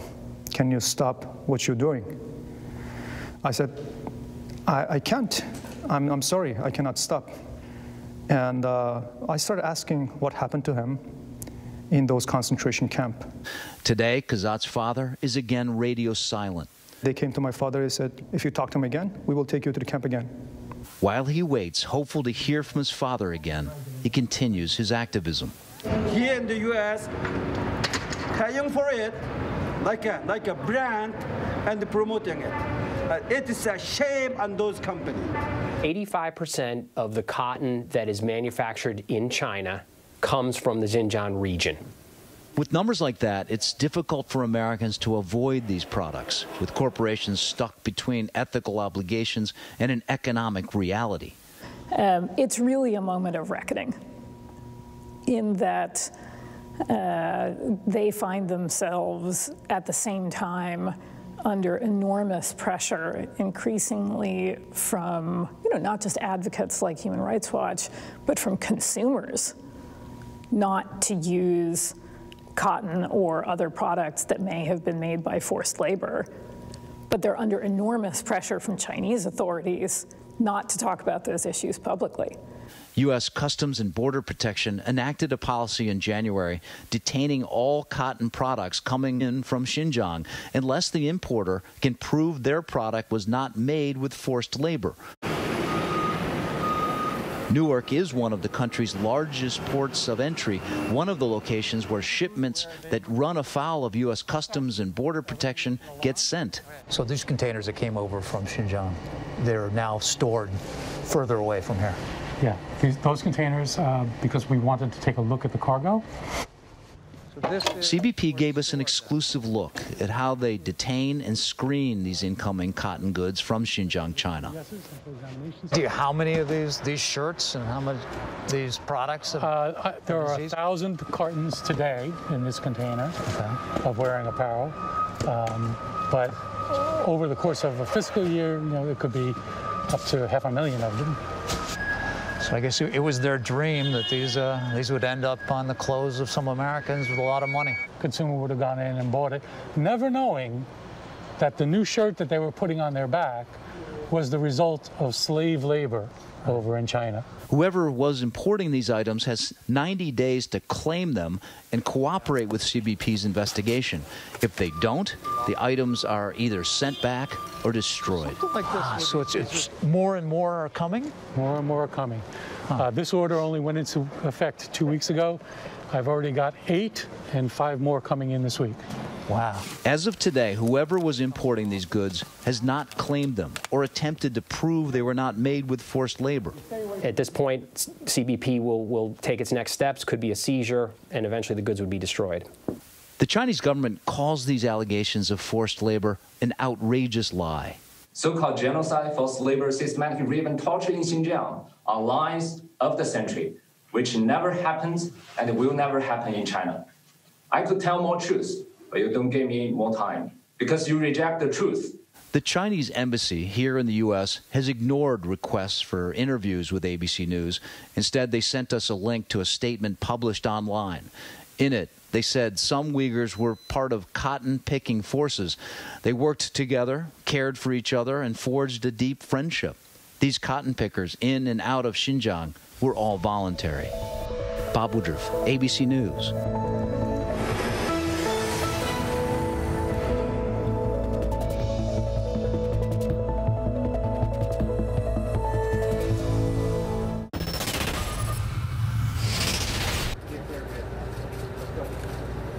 Good evening. It appears uh, we are enjoying an overwhelmingly uh, no vote tonight here in the state of California. Uh, but no is not the only thing that was expressed tonight. Uh, I want to focus on what we said yes to as a state. We said yes to science. We said yes to vaccines. We said yes to ending this pandemic. We said yes to people's right to vote without fear of fake fraud or voter suppression. We said yes to women's fundamental constitutional right to decide for herself what she does with her body, her fate, and future. We said yes to diversity. We said yes to inclusion. We said yes to pluralism. We said yes to all those things that we hold dear as Californians, and I would argue as Americans economic justice, social justice, racial justice, environmental justice, our values where California has made so much progress. All of those things were on the ballot this evening. And so I'm humbled and grateful to the millions and millions of Californians that exercised their fundamental right to vote and express themselves so overwhelmingly by rejecting the division, by rejecting the cynicism, by rejecting so much of the negativity that's defined our politics in this country over the course of so many years. I, I just think of our kids watching all of this nightly news, day in and day out. And I just wonder you know, I've got four young kids. Oldest about to turn 12 this weekend. And what they're growing up to. In a, in a world where we're so divided, these kids increasingly fearful, isolated, disconnected, and we're teaching them that. And it doesn't have to be that way. I think we owe our kids a, deeper sense of respect and all of us as adults a responsibility to, to, to disregard this false separateness. We're so much more in common as a state and a nation that we give ourselves credit for. I've been all over the state of California over the last many years, but notably the last nine months. Conservative parts of the state, progressive parts of the state, folks that I, I know were going to vote no, and folks that I knew were going to vote yes on this recall, and, and turned out to do just that. But one thing that's universal everybody wants to be respected. Everyone wants to feel some connection to one another. We all certainly in this pandemic want to feel safe, protected. Those are universal values. And I think about just in the last, you know, few days and the former president put out saying this election was rigged. Now, democracy is not a football. You don't throw it around. It's more like a, I don't know, antique vase. You can drop it and smash it in a million different pieces. And that's what we're capable of doing if we don't stand up to meet the moment and push back. I, I said this many, many times on the campaign trail. You know, we may have defeated Trump, but Trumpism is not dead in this country. The big lie, January 6th insurrection, all the voting suppression efforts that are happening all across this country, what's happening, the assault on fundamental rights, constitutionally protected rights of women and girls. It's a remarkable moment in our nation's history. But I'm reminded of uh, something, I don't know, a few decades ago, someone told me when describing a difficult and challenging moment, said, The world is too small, our time is too short, and our wisdom is too limited to win fleeting victories at other people's expenses. And he went on to say, We must all triumph together. So, in that spirit of recognizing and reconciling this moment and trying to understand what's going on, not just here in the state, but all across the United States of America, I, I just want to say this. Tonight, I'm humbled, grateful, but resolved in the spirit of my political hero, Robert Kennedy, to make more gentle the life of this world. Thank you all very much, and thank you to 40 million Americans, 40 million Californians, and thank you for rejecting this recall. Good night, everybody. the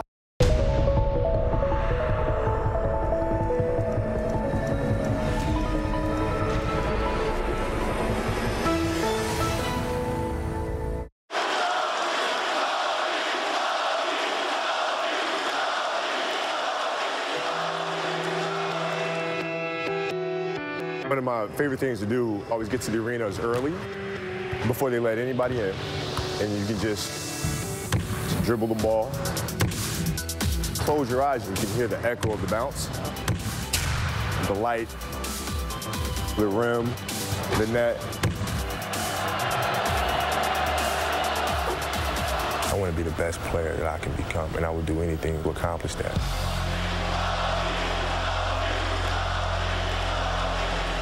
This man was probably the fiercest competitor the game has ever seen. You know, basketball for me was the most important thing. He did not want to lose. Kobe worked his tail off day and night. I have to make some sacrifices. This is what I want to do. He became the Black Mamba. He became legendary Kobe Bryant. If it's going to make me better than Michael Jordan, I'm doing it. This kid has passion like you would never know.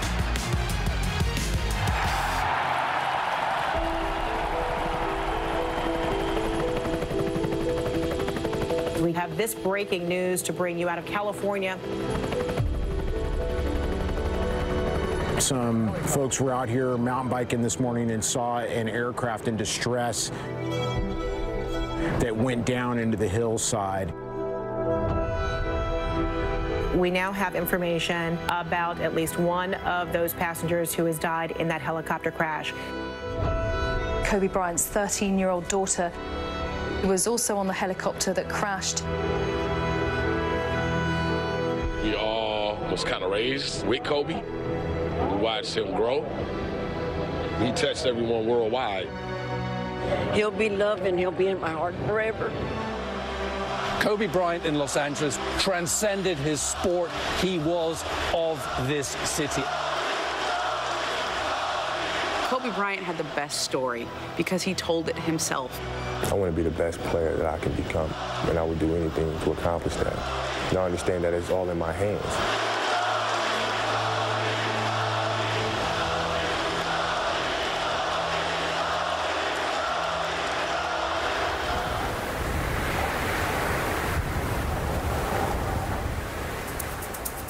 When you look at his origin story, everything goes back to Kobe Bryant grew up for most of his childhood in Italy because his father was playing overseas there. My father played professional basketball. He played for the Philadelphia 76ers, Houston Rockets, and San Diego Clippers. Kobe Bryant's dad, Joe Jellybean Bryant, was a legend in the city of Philadelphia. He was six foot ten. He could do things with the ball in the 70s that really nobody could do and he ends up playing in Italy for the second half of his career. At the time, I was only six years old. Ecco ancora Kobe Bryant, And I was pretty much clueless about the whole situation. But my parents basically told me, Kobe, you're going to an Italian school. We want you to learn a new language. When you're young, you just basically do whatever your parents tell you to do with no questions asked. I met the very young Kobe Bryant. It had to be 1989. I was playing overseas in Italy, and I was actually playing against his father. He was 10 or 11 years old. I was this little eager, industrious kid on the sideline that was challenging everybody to play one-on-one -on -one and play horse. He grew fascinated with the NBA through tapes that his grandparents would mail him. Kobe grows up idolizing Michael Jordan. Everyone wants to be like Mike, and nobody wanted to be like Mike more than Kobe Bryant. He wanted to be seen as being that great. And I used to go out on the court and try to emulate all the moves and kind of imagine myself playing against other guys. There weren't anybody out there that's going to come to the court and play with me. So who'd you play with? Uh, I played by myself. You did shadow basketball? Shadow basketball. Yeah.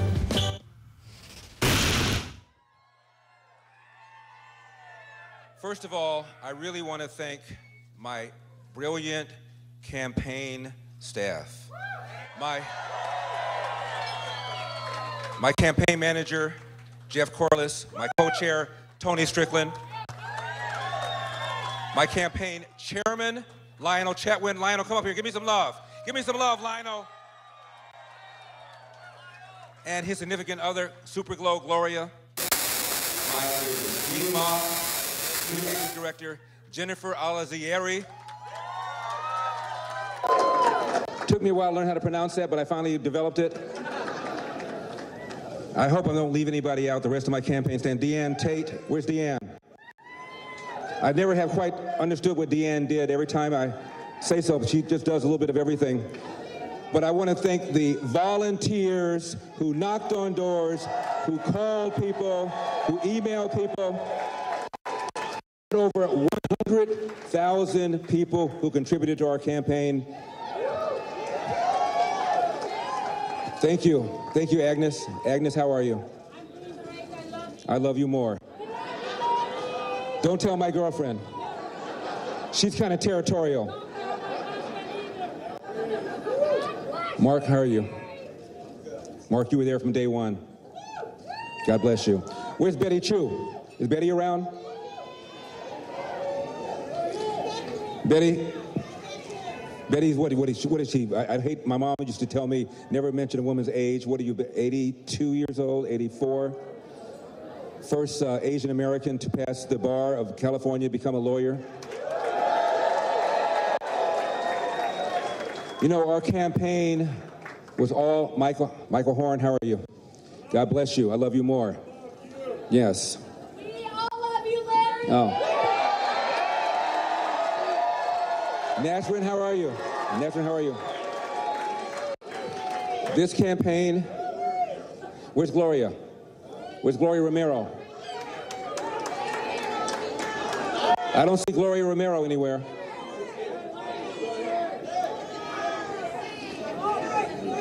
There she is, Gloria Romero.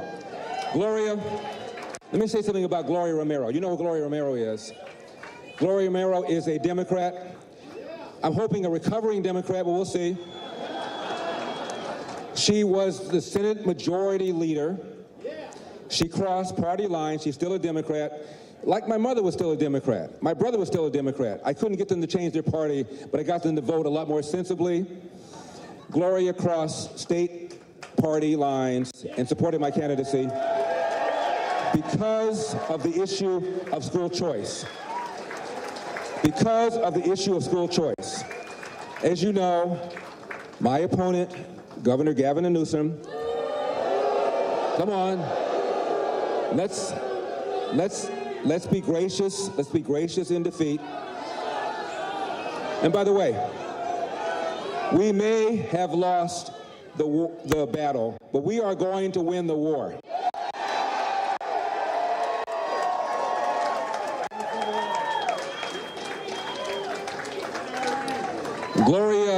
Crossed party lines because of the issue of school choice. We're spending $15,000 every year for students in our government schools in California. Notice I don't call them public schools, I call them government schools. $15,000 a year, some of the worst reading, reading scores, some of the worst, worst math scores. Only about 15 or 16 states spend more. And the students that are getting the raw end of the deal are the black and brown students who comprise 80% of the government students in our government schools. They're getting the worst teachers, the worst principals, the worst administrators, the worst outcomes. What is the route from poverty to middle class? At least finish high school. One, presumably, where you can read, write, and compute at grade level, and that is not happening. I read a study that said roughly 5% of government teachers across the nation are incompetent. Roughly 5%. I have no idea whether that's true of California, but let's assume for a moment that it is. There are 300,000 public school teachers in California. Any given year, 2.2 are fired. If it is true that 5% are incompetent, that means 15,000 are incompetent. 2.2 every year are fired. Again, I'm not saying that applies to California, but assuming it does, imagine if that applied to cops in LA. I'm in LA. 10,000 force, assuming 15% were incompetent. We're talking about 500. 500 doing what? Planning evidence, engaging in racial profiling, using excessive force? We wouldn't put up with it. We'll put up with 15,000 incompetent public school teachers. That is why Gloria and I support school choice. So the money. So the money goes into an account, education savings account, that the parent can control, put the kid in a charter school, a private school, a religious school, or God forbid, homeschooling. The reason we started this campaign is because this man, Governor Gavin Newsom, was sitting up there at the French Laundry restaurant with lobbyists who contributed to his campaign, with the people who drafted the mandates that they were violating by not wearing masks, by not engaging in social distancing, while telling you to do it. Meanwhile, his own kids were enjoying in person private education. Now, he incurred a $12,000 wine tab. No, I don't know what they ordered, but I bet you it wasn't Mad Dog 2020. Crime up. Crime up. 41% in LA, and I'm talking about shootings, homicides. Under this governor, 20,000 convicted felons were released early. What could possibly go wrong? The other day, former President, former Senator Barbara Boxer was mugged in Oakland. You're not cheering for Barbara Boxer being mugged, are you? This is a, this is a rough crowd. It's a rough crowd. Also, I wanted to give some love to Arnie Steinberg. Arnie Steinberg, my strategist. Arnie, you were brilliant, absolutely brilliant. Also, Jenny Sand is here. Jenny, without you, I probably wouldn't have run. Jenny Sand, Pastor Jack Hibbs. Dennis, Dennis Prager. And again, my chairman, Lionel Chetwynd, all of whom advised me to run. But ultimately, I decided to run because I felt that I could do something about the crime. I could do something about the homelessness.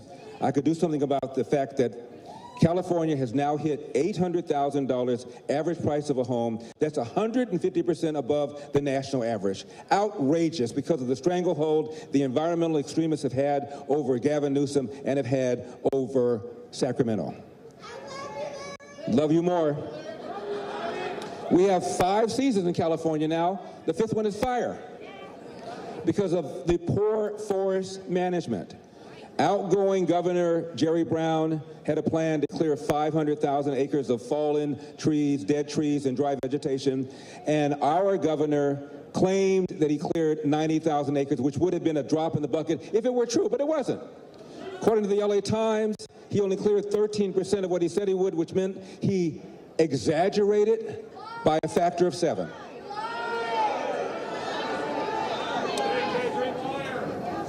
You know, before the pandemic, before the pandemic, half of all third graders in our government schools could not read at state levels of proficiency. Half. And those levels are low. Math scores even worse. 75% of black boys could not read at state levels of proficiency. Math scores are even worse. Because I care about this, I've been called the black face of white supremacy.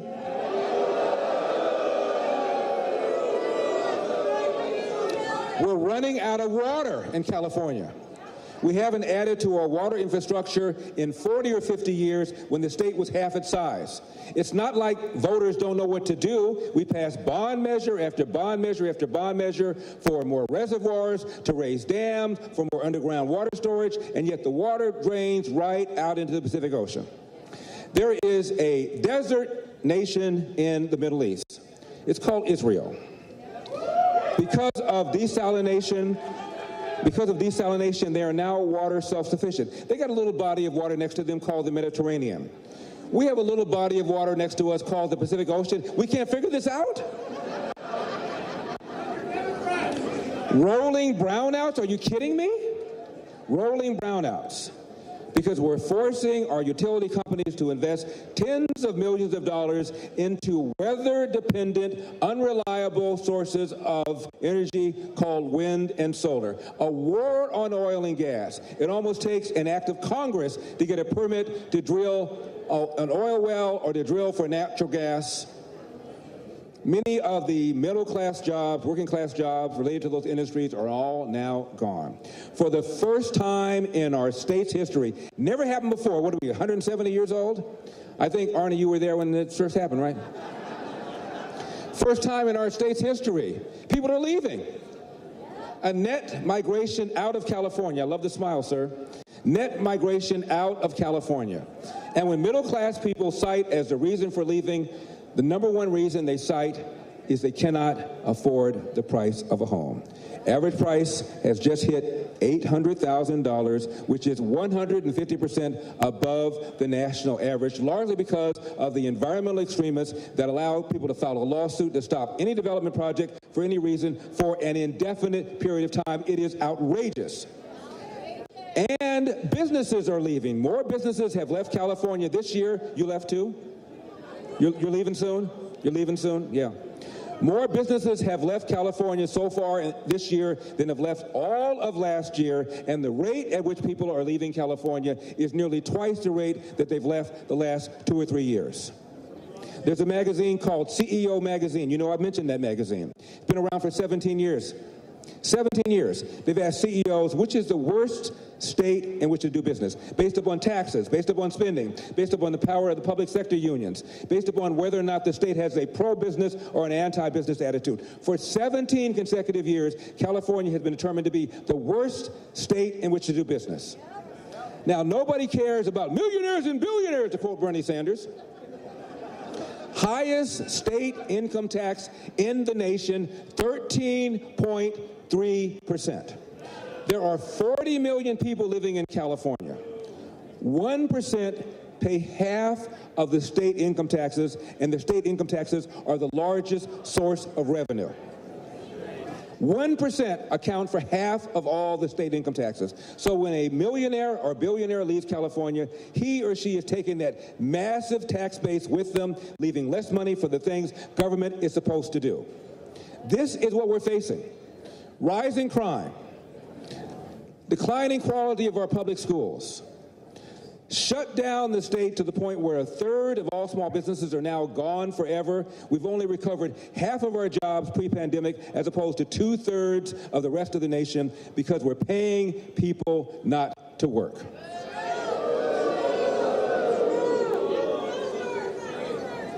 Rolling brownouts, water shortages. Farmers in Kern County tell me now they are rationing water. I can't think of anything that this man has done in the last two years that success he deserves another day in office. However, we recognize that we lost the battle, but we are certainly going to win the war. We're forcing we are forcing them now to pay attention to the problem of homelessness. We are forcing them now to do a better job on schools. We are forcing them now to do a better job on clearing our forests. We're forcing them now to do a better job about energy. We are forcing them now to pay attention to the things they should have paid attention to two years ago.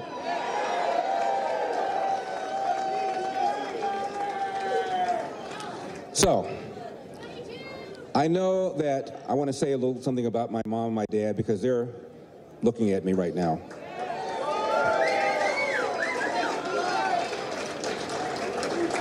You know, my dad came here in 1945, didn't have two nickels to rub together.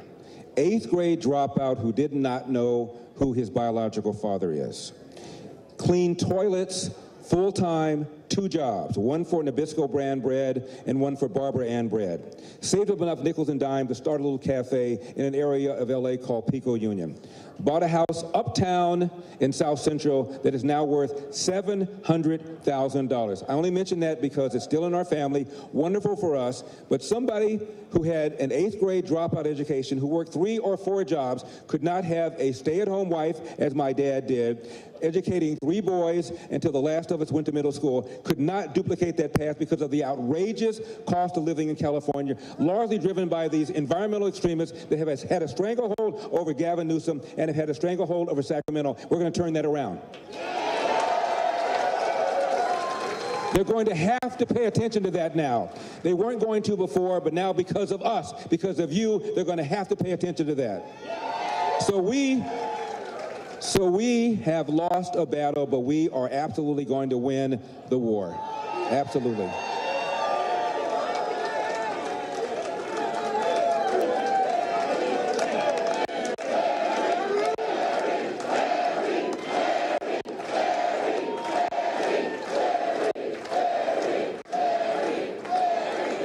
My mother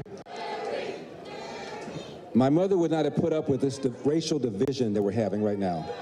Critical race theory, reparations, dividing us by race. Notice that all these people, whether it were Barack Obama or Elizabeth Warren or Bernie Sanders, all of whom cut a commercial for Gavin Newsom, notice they never said the following words. Gavin Newsom has done a good job for the people of California. It's a Republican takeover. White supremacists. Say hello to the black face of white supremacy. Hey, don't laugh. Don't laugh. I worked hard for that title. What do you think would have happened if a candidate such as Barack Obama running for president had a white woman in a gorilla mask throw an egg at him? What would have happened? Front page news, Washington Post. Front page news, New York Times. Systemic racism, alive and well in America. They would have been talking about it in Bangladesh. But with me, nothing. Now, now let's analyze this. Maybe the lady who threw the egg was one of the 20,000 convicted felons that Gavin Newsom released early. I don't know. Maybe she would have been in jail had we not had a soft on crime DA who was backed by Gavin Newsom who believes in cashless bail. Maybe she would have been in jail. Now, I was called sexist, so I want to be very careful about this. People have told me that this white woman had a gorilla mask. And I've said to my friends, How do you know it was a mask?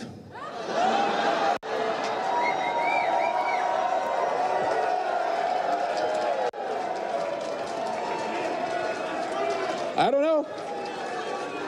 You know, And I have never, I have never suggested that anybody should vote for me because I'm black or against me because I'm black.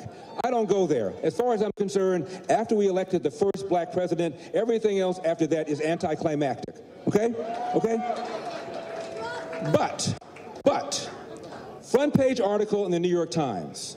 It was negative, all about me, never once mentioning my race, that I'm black, never once mentioning that if I were to win, I'd be the first black governor of California. Now, I'm fine with that. I'm fine with that. But on the same page, equally long article about, quote, the first female governor of New York. Now, she had a D at the end of her name, so it's relevant she's the first. I have an R at the end of my name, and suddenly I'm no longer black. It's amazing how that happens. Astonishing how that happens. How astonishing how that happens. They try to divide us on race. They want black people not to think about the fact that families have been destroyed because of the welfare state.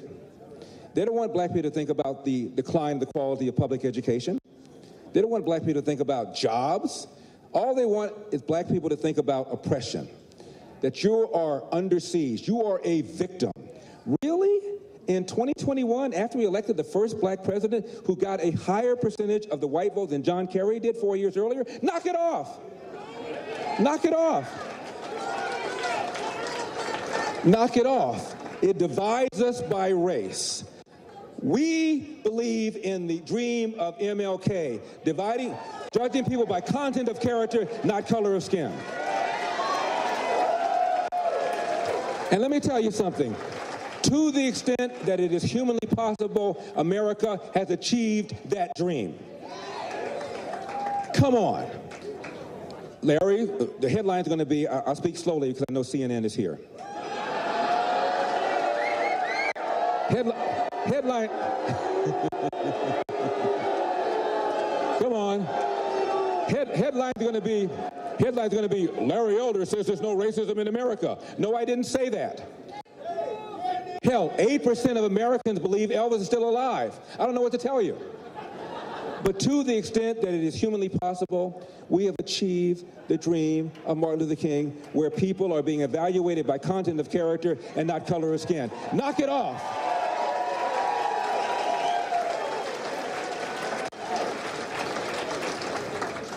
Obama was running in 2007. He was running against Hillary for the nomination. Mitt Romney was running against John McCain for Republican nomination, right? Gallup decided to ask which of these four candidates had the biggest hurdle. They asked Americans, what percentage of you would never vote for a black person for president? 5%. 2007. What percentage would never vote for a female president? 11%. What percentage would never vote for a Mormon, referring to Mitt Romney? 24%. What percentage would never vote for somebody who would be 72 years old when he became president, referring to John McCain? 42%. So Obama had a lower hurdle than these three white politicians. Knock it off. Knock it off.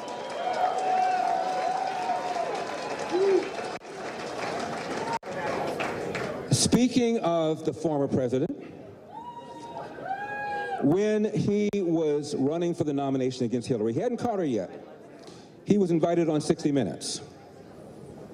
And Steve Kroft, the correspondent, said, Senator, if you don't get the nomination, will it be because of your race? And I'm at home by myself. Nina wasn't there. And I said, let me see what this man says. And he said, no. If I don't get the nomination, it will be because I have not articulated a vision that the American people can embrace. I said, hallelujah. He's not what I call a victocrat. He's not Sharpton. He's not Jesse Jackson. He's not dividing us. Fast forward, he gets in. And by the way, when he walked into office, he had 70% approval which meant a whole bunch of people who didn't vote for him because he got about 52% said, okay, all right. You know, I, I, don't agree with taxing and spending and regulations and soft on the borders and soft on national security, but at least he will be a racial reconciliator. What did he do? He divided us time and time and time again. The Cambridge police acted stupidly. Remember that? His good friend Skip Gates, who's a professor at, uh, at Harvard of African American Studies, uh, comes back from vacation, forgets his door key. He and the cab driver break into his house. Neighbor sees this, doesn't recognize him, Cambridge, and calls 911. Don't you want your neighbors to do that? White cop shows up, very politely says, sees him in the house, doesn't know if he belongs to the house. Says, sir, please come out and show ID. What did Gates say? I'll come out if your mama tells me to come out. And what Obama should have said, what Obama should have said, this is early in his presidency, when he should have set the table. Obama should have said, you know, last night I talked to my friend Skip Gates, I've known him for a number of years. I said, Skip, Skip, Skip, come on, come on. You're a Harvard professor, you're tenured. A lot of these profile killings, high profile killing shootings would have been avoided if the suspect slash civilian had just complied. So I told him, I said, knock it off. Knock it off. You should have just come out and said, show some ID. Incident would have been over. But you copped an attitude. Obama didn't say that. What did he say? The Cambridge police acted stupidly. No, they didn't. They did their job. If I had a son who looked like Trayvon, what does that mean? There's a place called Ferguson where we have our own problems. It was a lie. Michael Brown did not have his hands up, did not say don't shoot. It was a lie. He invited Al Sharpton, the nation's most notorious race card hustler, into the White House over 70 times. He embraced this bogus Black Lives Matter movement. He made things worse. I'm a uniter. We are uniting. We are going to bring this country together. We are going to bring this country together because we know what the real problems are and they have nothing whatever to do with racism. I was talking to a black reporter about all of this. He says, uh, You don't believe in systemic racism? I said, No, I don't. I said, study after study after study has shown that if cops, if anything, they are more hesitant, more reluctant to pull the trigger on a black suspect than a white suspect. In fact, more unarmed whites are killed every year than unarmed blacks. I said, name one unarmed white. Couldn't do it. Because CNN doesn't care. MSNBC doesn't care. Anderson Cooper doesn't care. They only care if an unarmed black person is killed. More unarmed whites killed every year than unarmed blacks. It is a lie, I said to him he still wasn't feeling me. You know, I'm a Uncle Tom, I'm a sellout, I'm a bootlicker, I'm the black face of white supremacy. I said, by far, the biggest problem in our society in general, the biggest problem in the black community in particular, is a large number of children who enter the world without a father married to the mother. Let's be real here. Let's be real. He didn't want to hear it. I said, all right, let's do this. Get out your magic wand. Stephen Sachs, much love. Zana, get out your magic wand. Stephen Sachs, I've known him for a number of years from South Africa. He can tell you what apartheid is really like. Um, we're in apartheid state America. I mean, really? So, I said, get out your magic wand. Wave it over America. Remove every smidgen of racism from the hearts of white people. Now, everybody in America who's white thinks like Mother Teresa, I said to him. Do we still have the phenomenon where 70% of black children enter the world without a father married to the mother? Forget about elder. I love to quote left wing people whenever I can. Barack Obama once said, only said it once, he got hammered, doesn't say it anymore. A kid raised without a father is five times more likely to be poor and commit crime, nine times more likely to drop out of school, 20 times more likely to end up in jail. Now, 25% of black uh, children enter the world without a father married to the mother in 1965. Now the number is 70%. I said, do we still have that phenomenon? By the way, 25% of white kids now enter the world today without a father married to the mother. Half of all Hispanic kids enter the world without a father married to the mother. 40% of all children do because, because when Lyndon Johnson launched the so-called war on poverty, $20 trillion later, we are incentivizing women to marry the government and incentivizing men to abandon their financial and moral responsibility. And I said to him, after you wave this wand, do we still have the situation where the number one cause of preventable death for young white men is accidents, like car accidents or drownings? Whereas the number one cause of preventable death for young black men is homicide almost always at the hands of another young black man. Do we still have the phenomenon, I told him, where of the 15,000 annual homicides every year, half of the victims are black, even though blacks are only 13% of the population? Do we still have that phenomenon? Do we still have the phenomenon where a young black man is eight times more likely to be killed than a young white man? I said, if the answer to that series of questions is true, then I submit to you that systemic racism is not the problem and critical race theory and reparations are not the answer. Knock it off. Knock it off.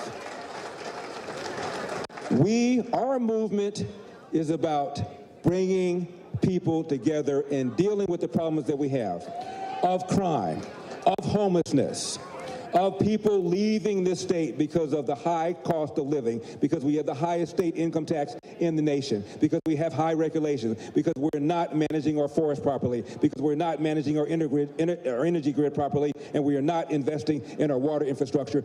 These are the kinds of things that we're going to deal with. It's not about race. Knock it off.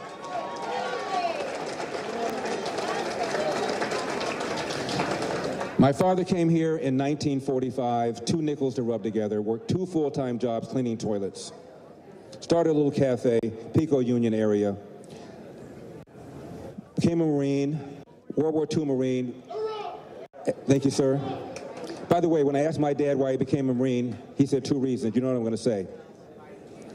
They go where the action is, and I love the uniforms. And my father always told my brothers and me, hard work wins. You get you get out of life what you put into it. You cannot control the outcome, Larry, but you are 100% in control of the effort. And before you complain about what somebody said to you or did to you, go to the nearest mirror, look at it, and say, What could I have done to change the outcome? And finally, my father always told this to my brothers and me no matter how hard you work, how good you are, sooner or later, bad things are going to happen. How you deal with those bad things will tell your mother and me if we raised a man. And every day, I try to please my mother and my father by trying to convince them that they, in fact, have raised a man.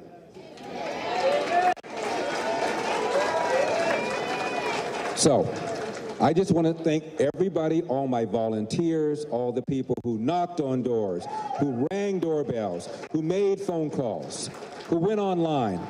I want to thank my wonderful campaign staff. I have been a politician for all of seven or eight weeks. How am I doing?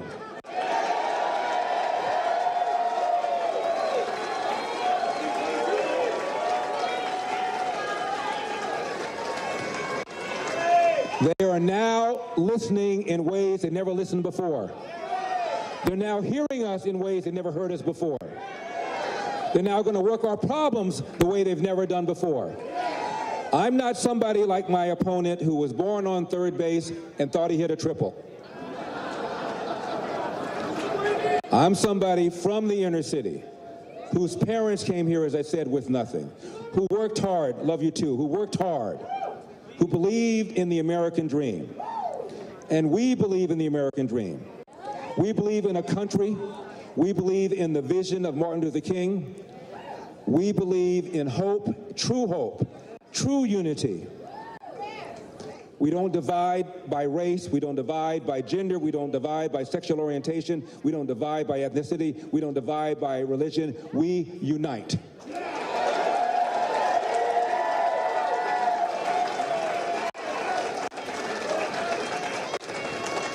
My opponent referred to this recall as a move to take over California by white supremacists.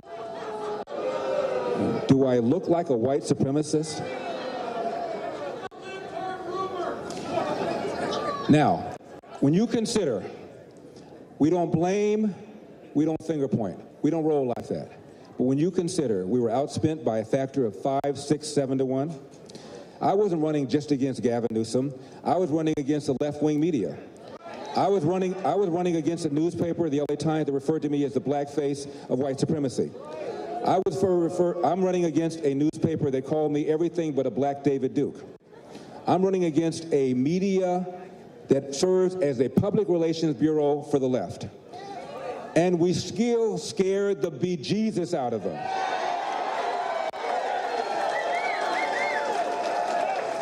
That's why they brought in, they brought in brought in Barack Obama. They brought in Bernie Sanders, a socialist who owned three homes. But I digress. They brought in Senator Warren, and as I said before, all they did, all they did was call this a Republican takeover. I mentioned State Senator Gloria Romero.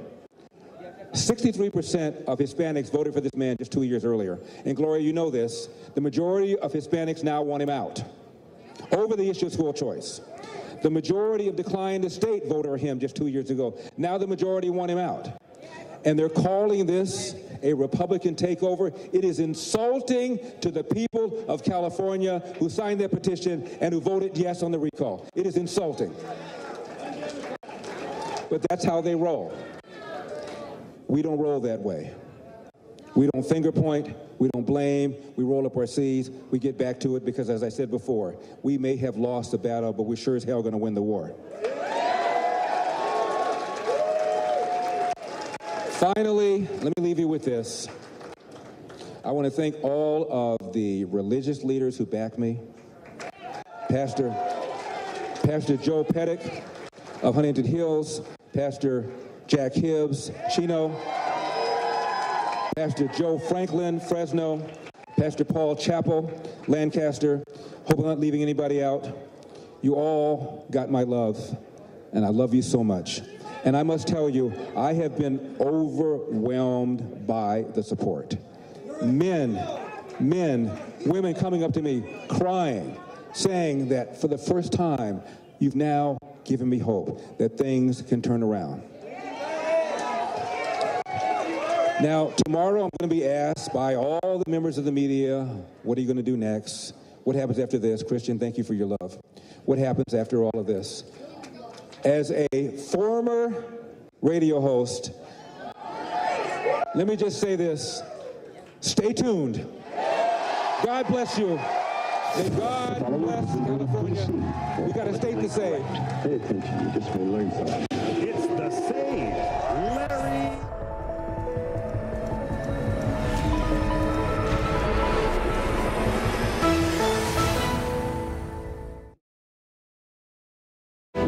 News Now. And America This Morning. The best new video. The breaking news overnight. Emergency crews called to the town of Surfside.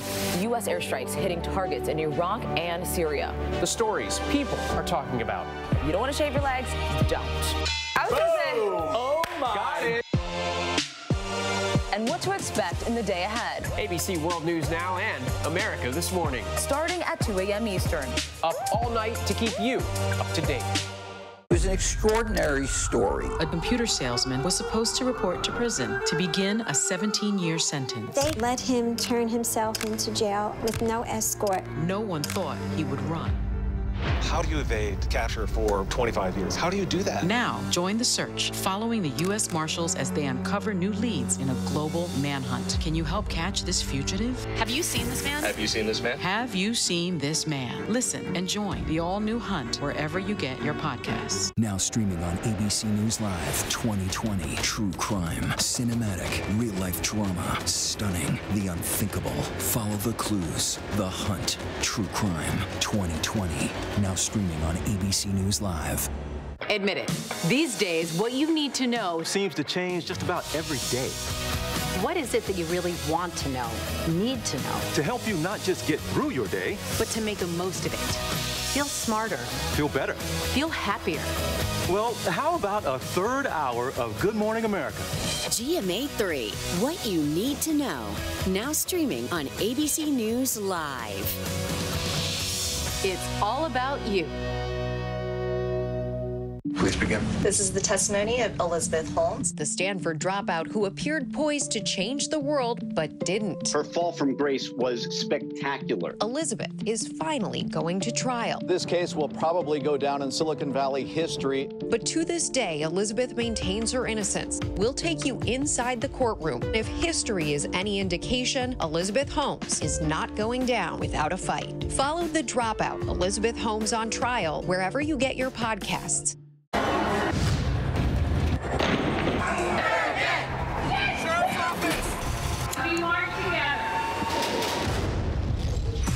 The most powerful stories of our time, anytime. Nightline. Even the best of us get scared. Something kind of magical happened when I stepped up to the podium. So much has changed in the blink of an eye. I have felt as if I've been shot out of a cannon. Rolling. She rocked the inauguration and inspired millions across the country and the world. Now, finally, for the first time, the Amanda Gorman you don't know. And how does Amanda answer this? I wouldn't be here where I am today if I hadn't been so brave enough. Amanda Gorman, the all-new Robin Roberts exclusive event, Wednesday night at 10, 9 central on ABC and stream on Hulu. Gianna Bryant brought out something so incredible in Kobe Bryant. His daughter had the same love for basketball, even as a young girl, that he used to.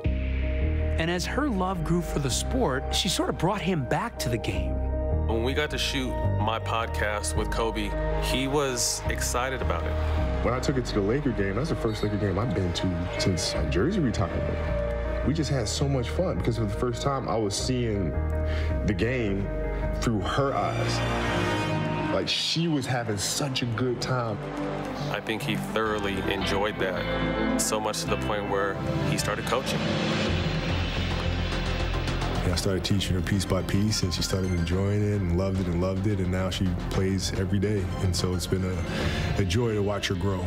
He was probably the happiest dad on earth. I mean, what's better than your daughter wanting to play basketball after you've played for your whole life? Gigi was Kobe. She talked like Kobe. She was fearless, just like Kobe. She was ready to, to bring it on. She's intense, really competitive. Are you surprised? No, she gets it from her mama. Oh, yeah, right. yeah, right. Now with the basketball team that we have, we practice every single day. Start out, two sets. He was just talking about, you know, his second act and how he was building this basketball universe with the Mamba Academy. You lay back and you kind of let them find their own way a lot. When they started playing, they were pretty bad. They weren't a good team. Patience, patience, man. They're 12. You just got to be patient, let them develop, let them grow. And, and Kobe was like, if I'm going to coach you, we're not going to be bad. We're just going to keep on getting better, and there's really no other option. And I think that's the most important thing to understand is that there's no difference between a young girl playing basketball and a young boy playing basketball. They can be just as great, if not greater. He starts coaching, and then he broadens it.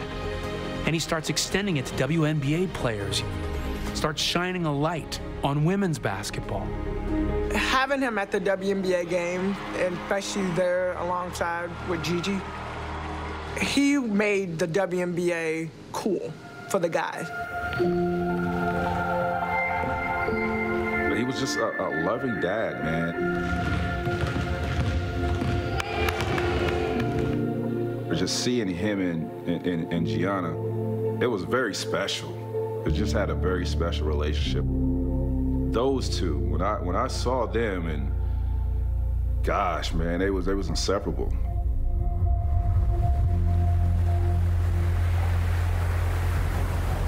It was January 26, 2020. Gianna had a basketball tournament, so did some of her other friends. So Kobe Bryant and Gianna and, and some of the parents and those kids jumped on a helicopter and were flying to this basketball tournament. Two Echo X-ray advised it to be a fog condition. Uh, and then the fog was, I've never seen it so thick in my life. Two Echo X-ray, you're uh, still too low level uh, for uh, flight following at this time. Because they were following the freeway. It's always foggy there. South of 101 helicopter went down. I was one of the first people on scene. The people I talked to said the helicopter was getting louder and louder, and then it seemed like it fell from the sky. Breaking news to bring you out of California. They would not say who was on board. LA fire authorities, first responders, all there trying to determine what happened.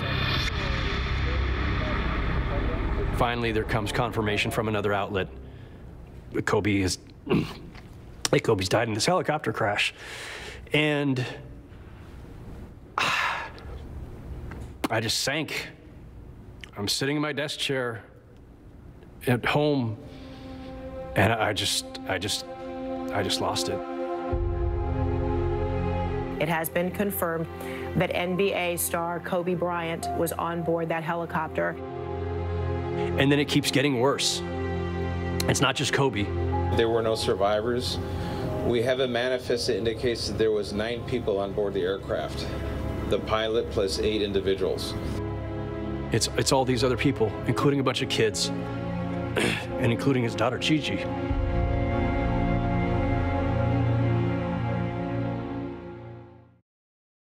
extraordinary story. A computer salesman was supposed to report to prison to begin a 17 year sentence. They let him turn himself into jail with no escort. No one thought he would run.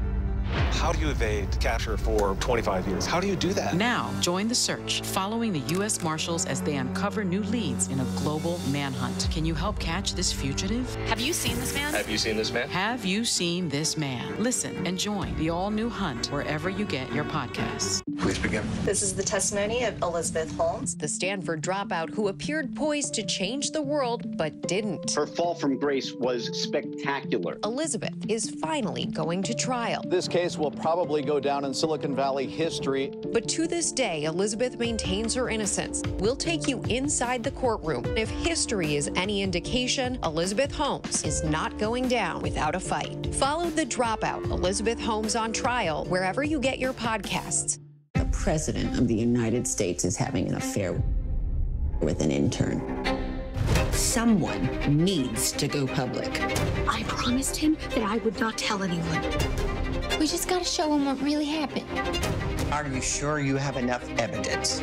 You are chaos. You are mayhem. These allegations are false. Mom, I'm in trouble. Impeachment American Crime Story, Tuesdays at 10, only on FX. Available now on demand. Where can you see first the all new trailer for the most anticipated movie of the season? West Side Story. This morning, the trailer premiere. Exclusive only on Good Morning America. Even the best of us get scared. I have felt as if I've been shot out of a cannon. Brave Enough, Amanda Gorman, the Robin Roberts exclusive. Tonight on ABC. I know what happened, and I'm not guilty. Why the fascination with criminal trials? Figure out what's really out there. She revealed she had murdered his family. I know in my heart they did this. It's the time of suspicion. The ending's really tough. You don't know whether truth is going to be difficult to find unless you try to find it.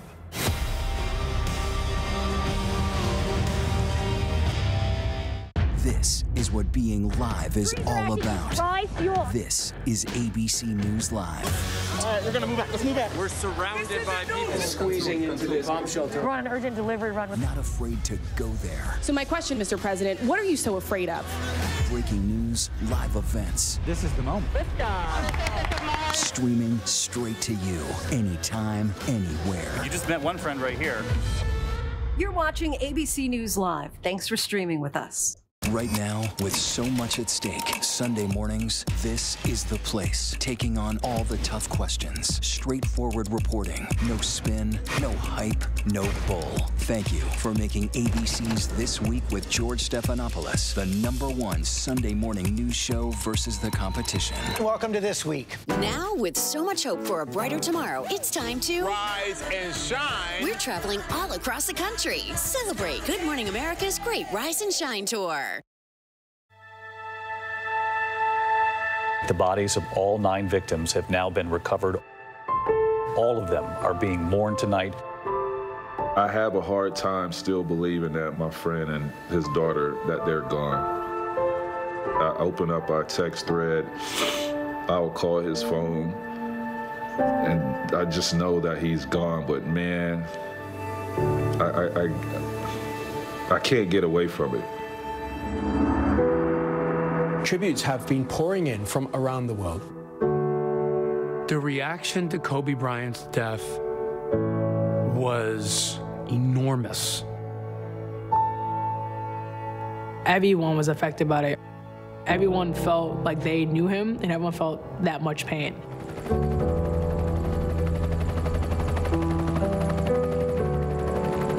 I mean, I just can't paint for you what it was like, especially in Los Angeles. You know, you go outside Staples Center, there's like thousands of people just walking around like zombies. They came from every age, every gender, every background, every ethnicity. Holding this gigantic memorial tribute to him outside. It wasn't just fans, it was everyone in the city as if they lost their favorite son, and they did. He wasn't just a Laker, he, he represented us. He was LA. He was a hero, a role model.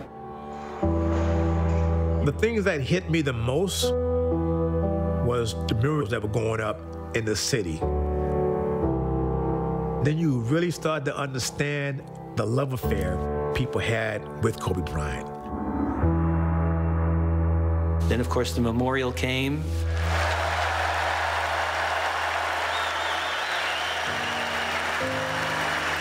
Was incredibly emotional to hear Michael Jordan speak about Kobe Bryant. When Kobe Bryant died, a piece of me died. I witnessed one of the most heroic things I'd ever seen anyone do. Please welcome Vanessa Bryant.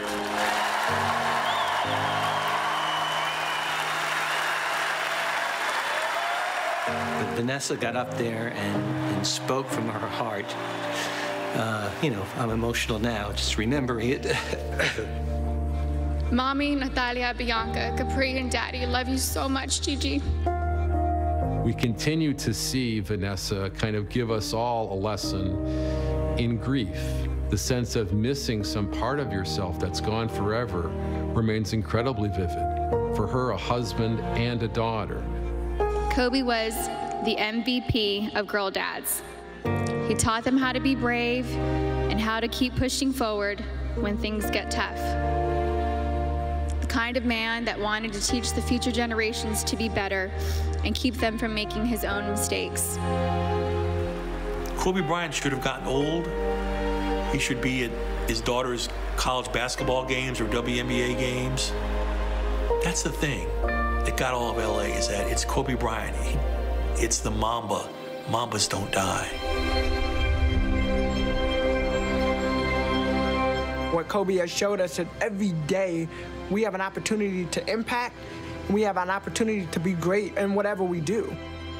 And that's what Mamba mentality is. Through this ball, I've been able to do so many things. These lessons that I've learned through the game will be with me forever. He's not just a great scorer or a great basketball player. He became a great person. His legacy is a journey, this rocky, turbulent, tumultuous journey, ending up in such a shining, great place, and then just stopping. His legacy is a journey unfinished. You can look yourself in the mirror and say, did I do everything possible to try to get better? If the answer is yes, let the dust settle where it may.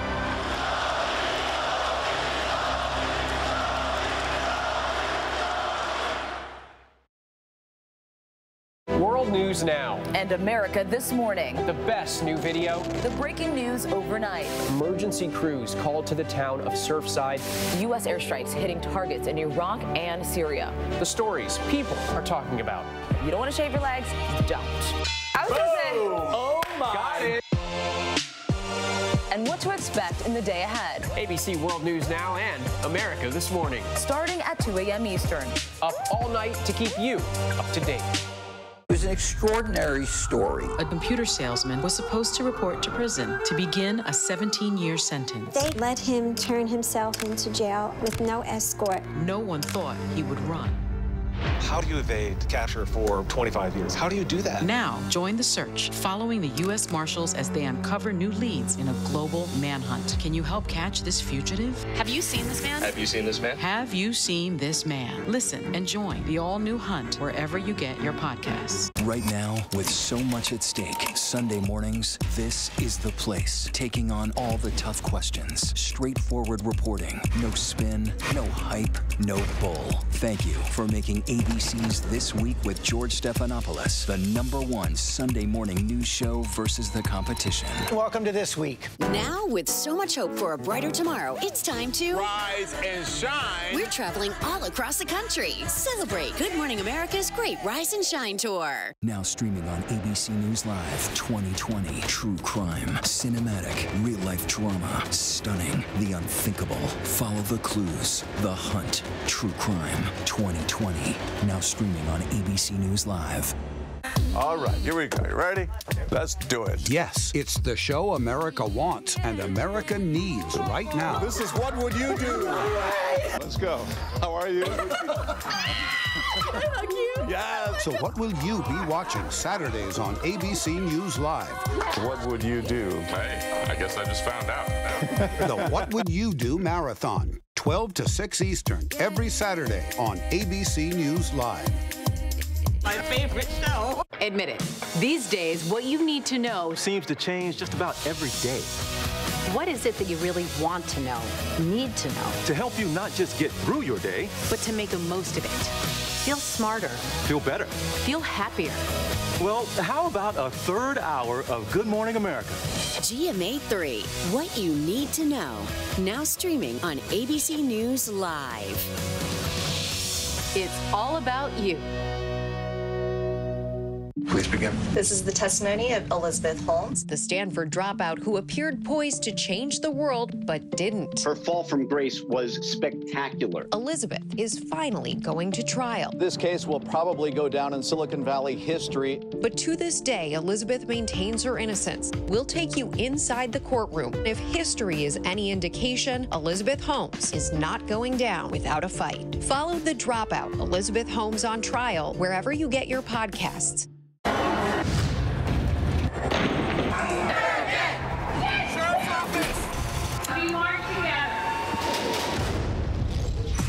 The most powerful stories of our time, anytime. Nightline. Even the best of us get scared. Something kind of magical happened when I stepped up to the podium. I have felt as if I've been shot out of a cannon. Rolling. She rocked the inauguration and inspired millions. Now, finally, the Amanda Gorman you don't know. And how does Amanda answer this? I wouldn't be here where I am today if I hadn't been so brave enough. Amanda Gorman, the Robin Roberts exclusive, Wednesday night on ABC. Let's talk about OnlyFans. Instagram, but for porn. OnlyFans is massively a part of the pop culture zeitgeist right now. OnlyFans has definitely enabled us to call the shots. Anyone can come in from the ground floor and start making money. A lot of celebrities joining OnlyFans. Cardi B, Chris Brown, Bella Thorne. Within 24 hours, she made $1 million. You either love me or you hate me. Think of it as like an online playground. OnlyFans, selling sexy, exclusively on Hulu. Now, with so much hope for a brighter tomorrow filled with sunshine, it's time to rise and shine. And we're celebrating by hitting the road. Let's do it. Traveling all across the country. Oh my gosh. Rise and shine. Rise and shine. Let it shine. Let it shine. Yes, it's time to celebrate and smile with. It's ABC's Good Morning America's Great Rise and Shine Tour. Good morning, America. See the all new trailer for West Side Story this morning. Exclusive only on Good Morning America. Breaking overnight on World News Now, the massive tropical storm slowing to a crawl over the Gulf Coast.